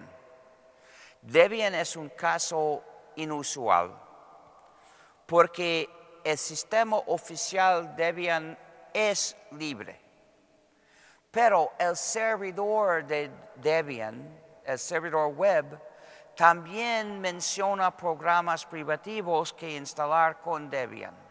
Por esto no podemos uh, avalar Debian como distro. Me pone triste.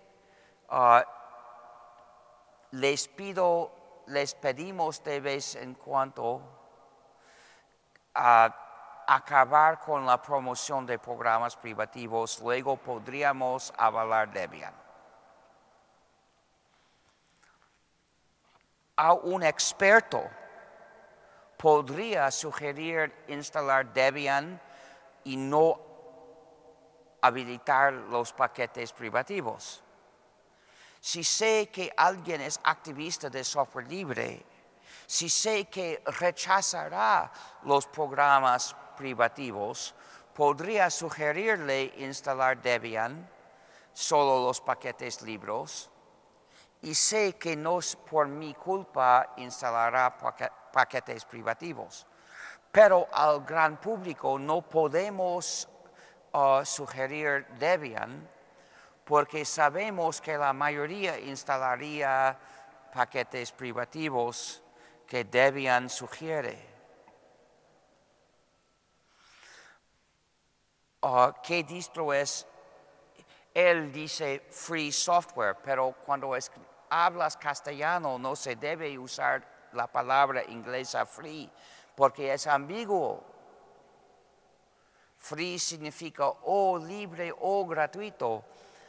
Por favor, usa la palabra libre. Es más claro. Hasta en inglés, ah, de vez en cuando digo libre para aclarar que no significa gratuito. Uh, en cuanto a las distribuciones libres, véase gnu.org slash distros. Uh, ¿Cómo un modelo así puede ser una realidad y no una utopía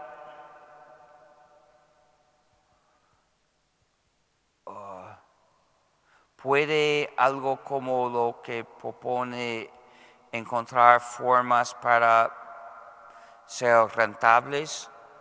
Hay empresas de software libre, a veces es rentable, pero es una pregunta secundaria, una cuestión secundaria. Primero, la primera cuestión es, ¿es ético o no desarrollar ese programa?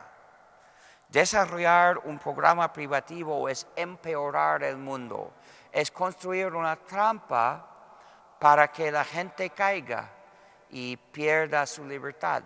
No se debe.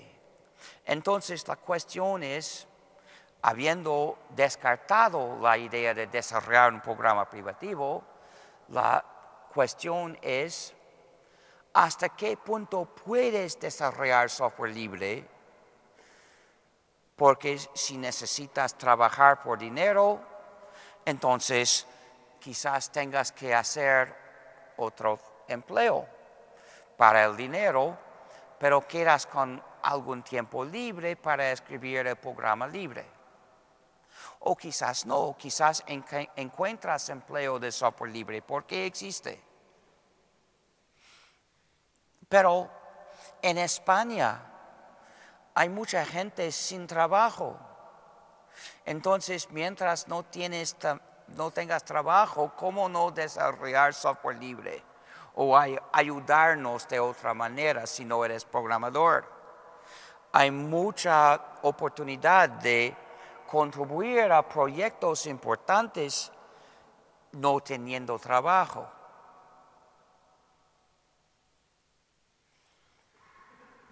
pudiera mencionar comunidades o países que den ejemplo en la forma en que ya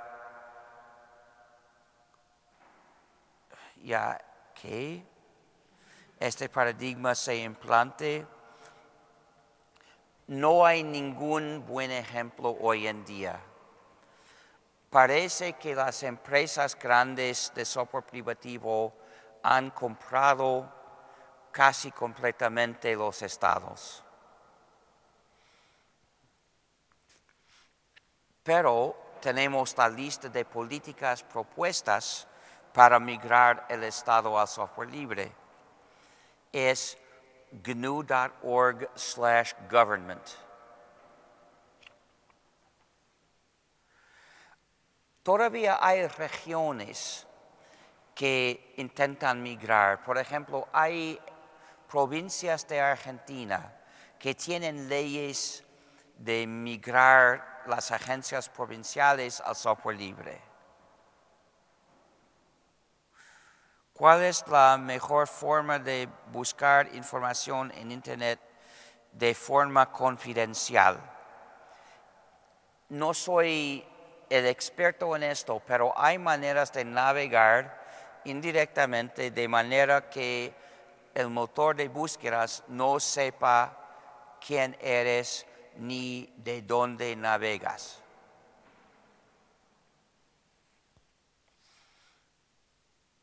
Una cosa interesante, después de las revelaciones de Snowden, la frecuencia de acceso a unas páginas de Wikipedia disminuyó por 30%. Uh, páginas como Al Qaeda, Bomba.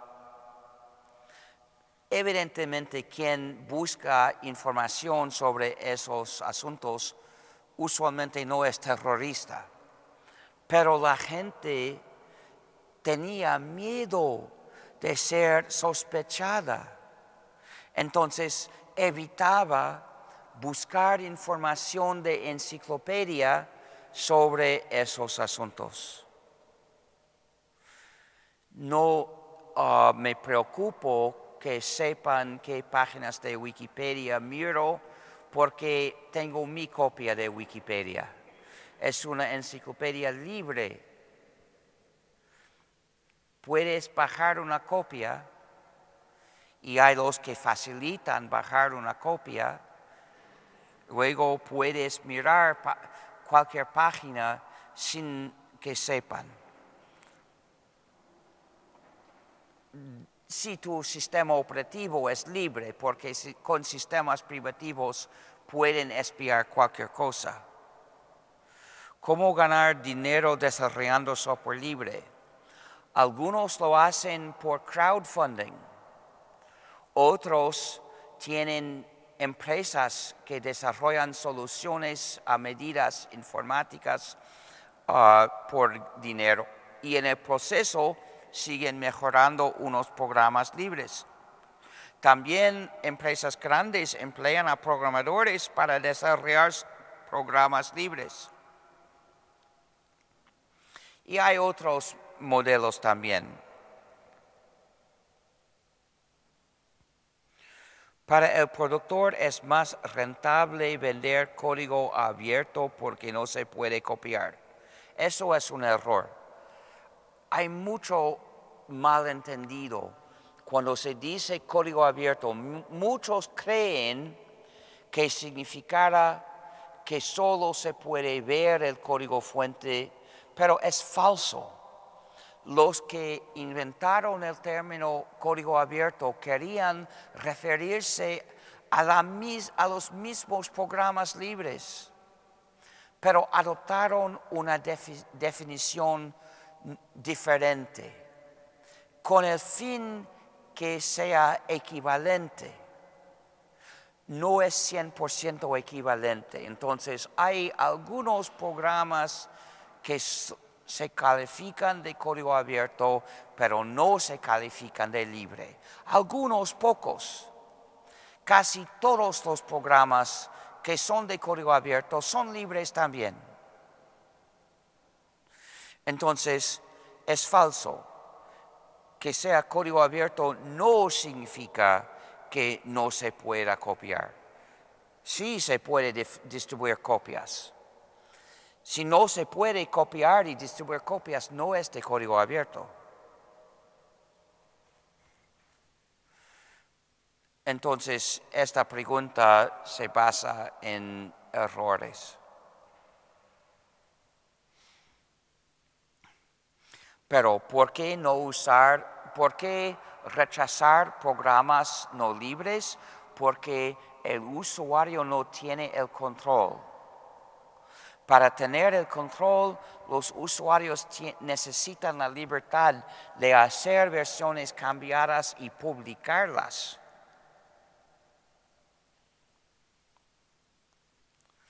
Hay un sello o logo identificativo del software libre que los usuarios uh, podamos reconocer fácilmente.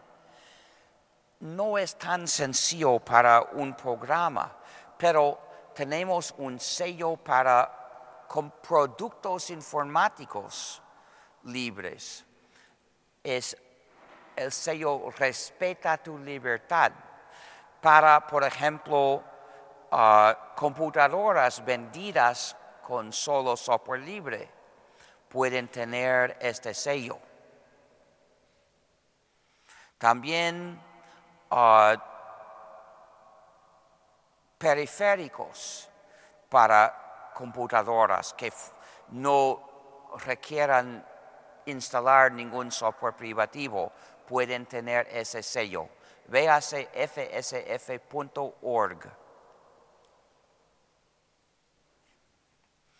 Si pudieras hacerlo pulsando un botón, ¿qué software privativo cambiarías a libre? Todo. Pero, ¿cuál elegiría primero? Ah, software para convertir la palabra de voz en texto. Software para diseño ah, de objetos o uh, productos físicos.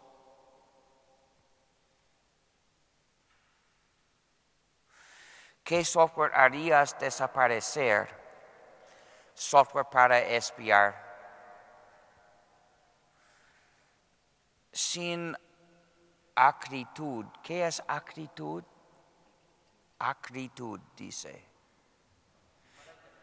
Ah, y desde el aprecio, ¿te crees más libre que yo en que estoy atrapado en los tentáculos de la red?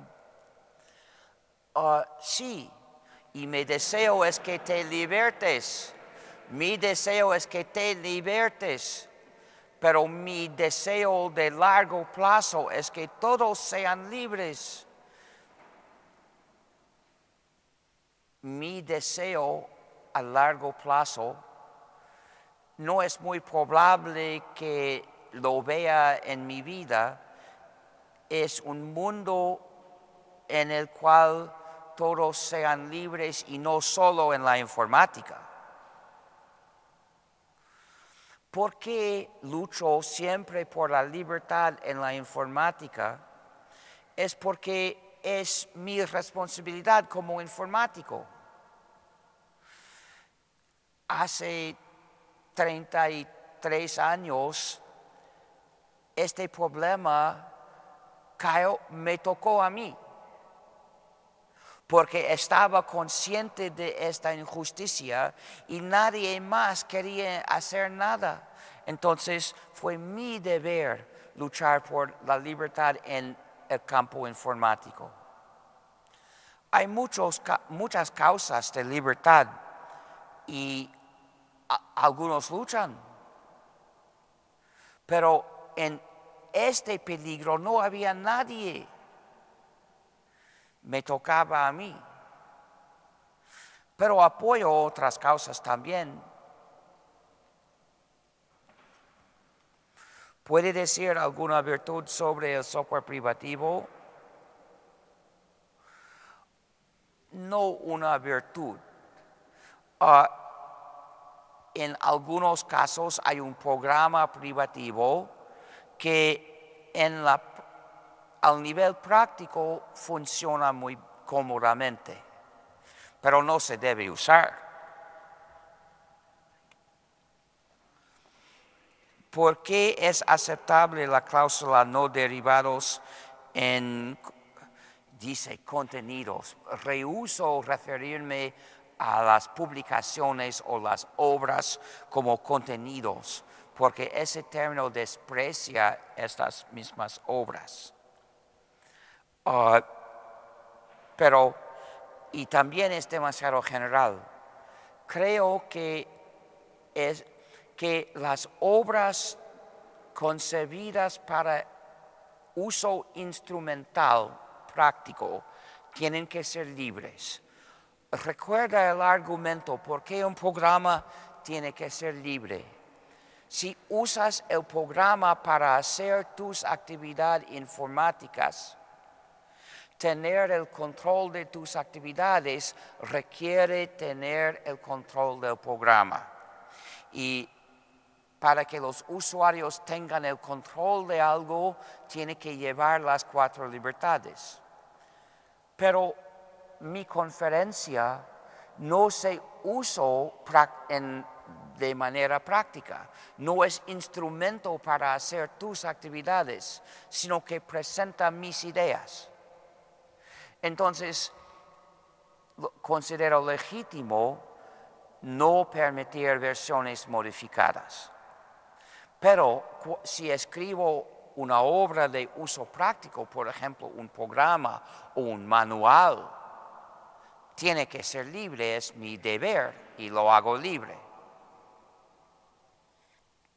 También las obras de arte no existen para usarse instrumentalmente, sino para apreciarse.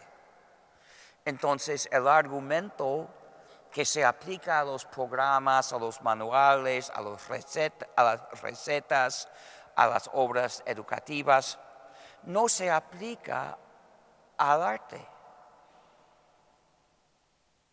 No creo que sea uh, una obligación publicar arte bajo licencia libre. Pero las obras educativas sí, las recetas sí, uh, los modelos para fabricar objetos físicos útiles sí tienen que ser libres. Pero cualquier obra publicada tiene que permitir compartir copias. La libertad de compartir copias tiene que extenderse a cualquier obra publicada sin excepciones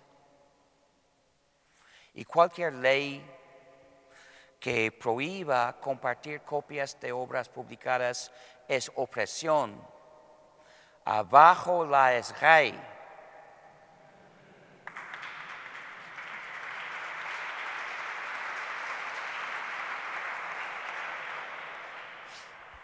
Microsoft es ahora miembro de la Linux Foundation ¿Le parece sincera su nueva actitud hacia el software libre?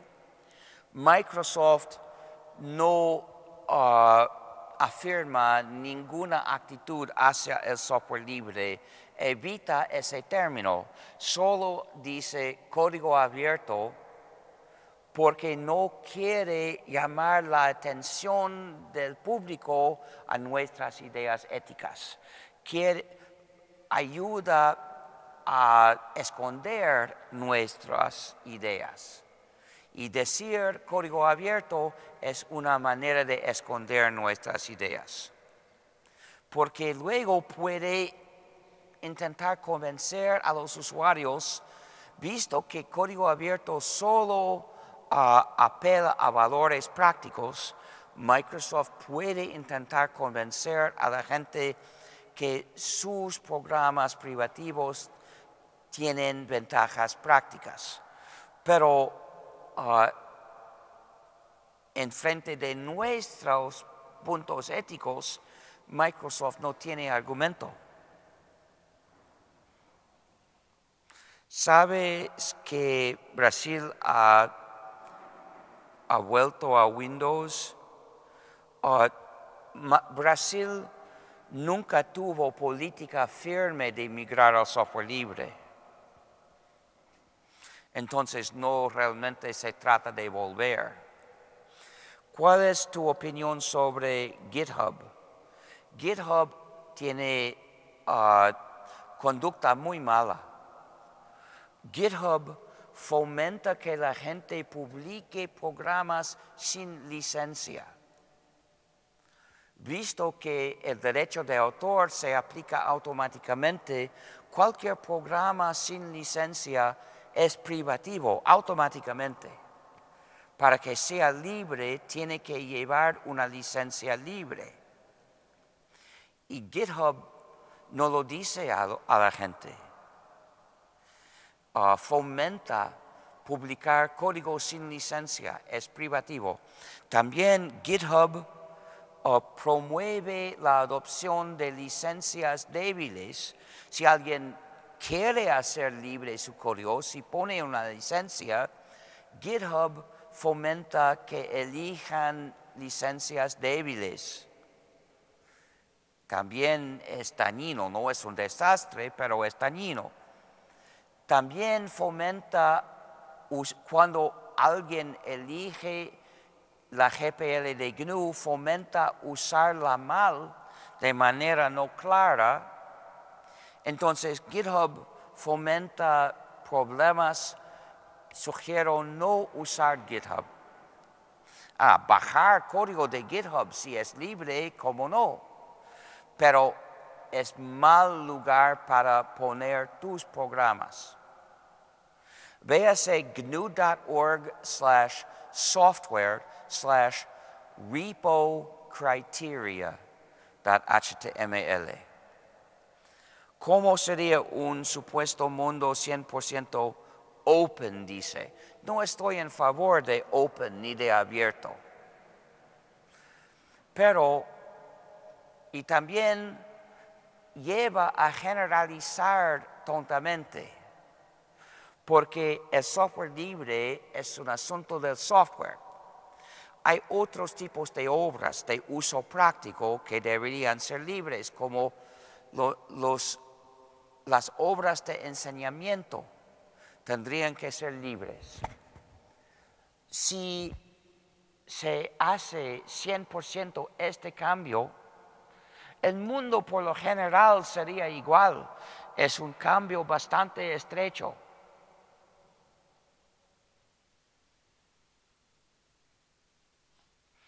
Hay posibilidades de ello con las nuevas empresas chinas las empresas chinas no respetan la libertad nada más que las empresas estadounidenses. China no es tierra de libertad. Arduino pregunta, el Arduino funciona con software libre. Es posible usar el Arduino sin software privativo.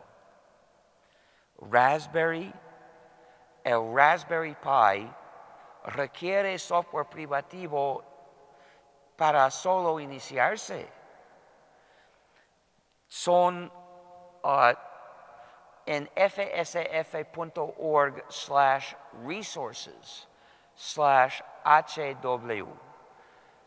Hay información sobre las pequeñas computadoras para compararlas.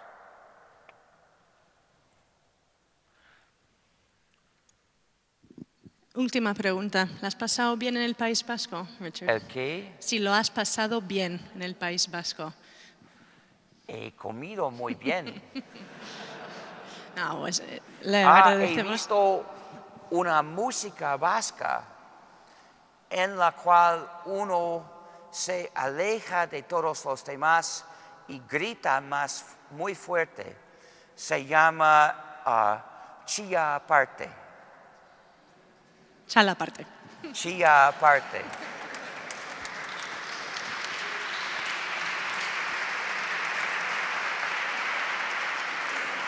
Pues visto la hora... También he visto paisajes lindos y mucha lluvia.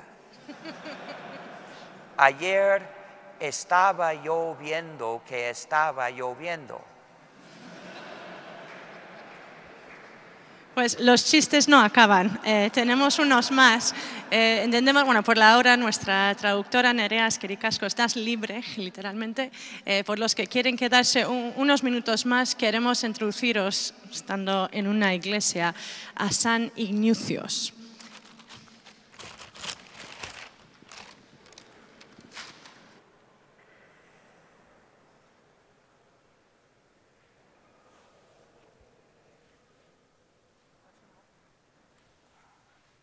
Quieres ayudarme, normalmente logro hacerlo solo. Espera.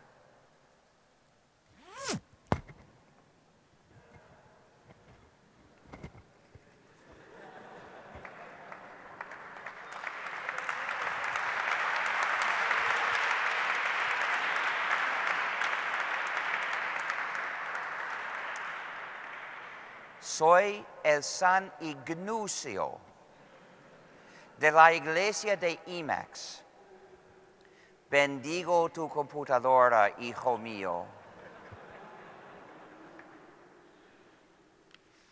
IMAX fue al comienzo un programa editor extensible de textos que había escrito, que se volvía a través de los años una manera de vida para muchos usuarios, porque lo extendían tanto como para poder hacer toda su informática sin salir nunca de Emacs.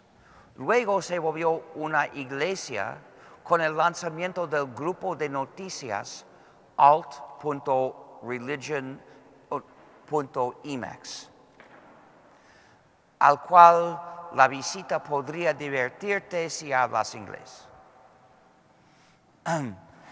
En la iglesia de Emacs tenemos una disputa teológica acerca de qué tecla es la más santa.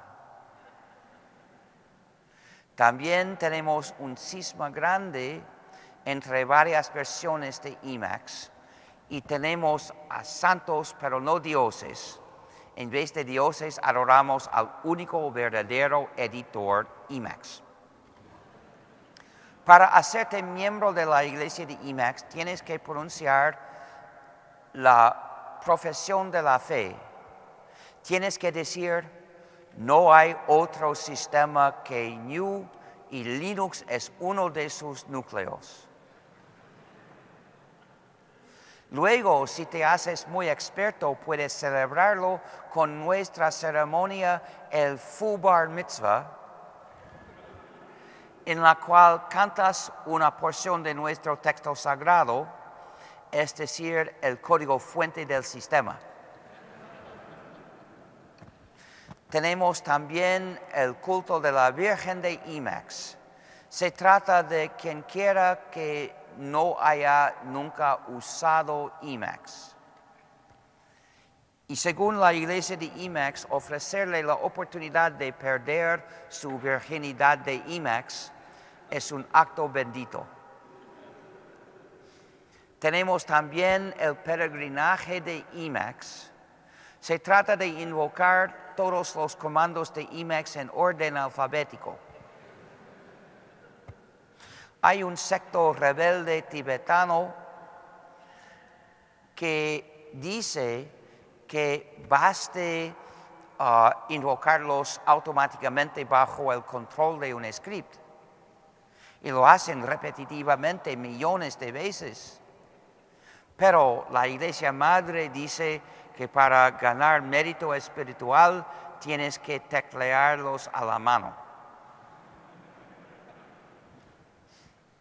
La iglesia de Emacs tiene ventajas comparada a otras iglesias que no voy a mencionar. Por ejemplo, ah, el ser santo en la iglesia de Emacs no requiere el celibato pero sí requiere vivir una vida pura y ética, pura y moral. Hay que exorcizar los sistemas privativos y diabólicos de las, todas las computadoras bajo tu control o armadas para tu uso regular e instalar un sistema completamente santo y libre en inglés diría a wholly free system. Luego, usar e instalar únicamente software libre con y sobre el sistema. Si haces este voto y si cumples con él, también serás santo y tendrás derecho de llevar una aureola si encuentras una porque no las fabrican más. Hay una rivalidad tradicional entre Emacs y el otro editor VI. Entonces, algunos me preguntan si, según la iglesia de Emacs, el uso de VI es un pecado. Es verdad que VI, VI, VI es el editor de la bestia, pero usar una implementación libre de VI no es un pecado, sino una penitencia. Hace unos años fui a China y unos usuarios de VI propusieron atacarme. Qué sorpresa, según parece, violencia comienza por VI.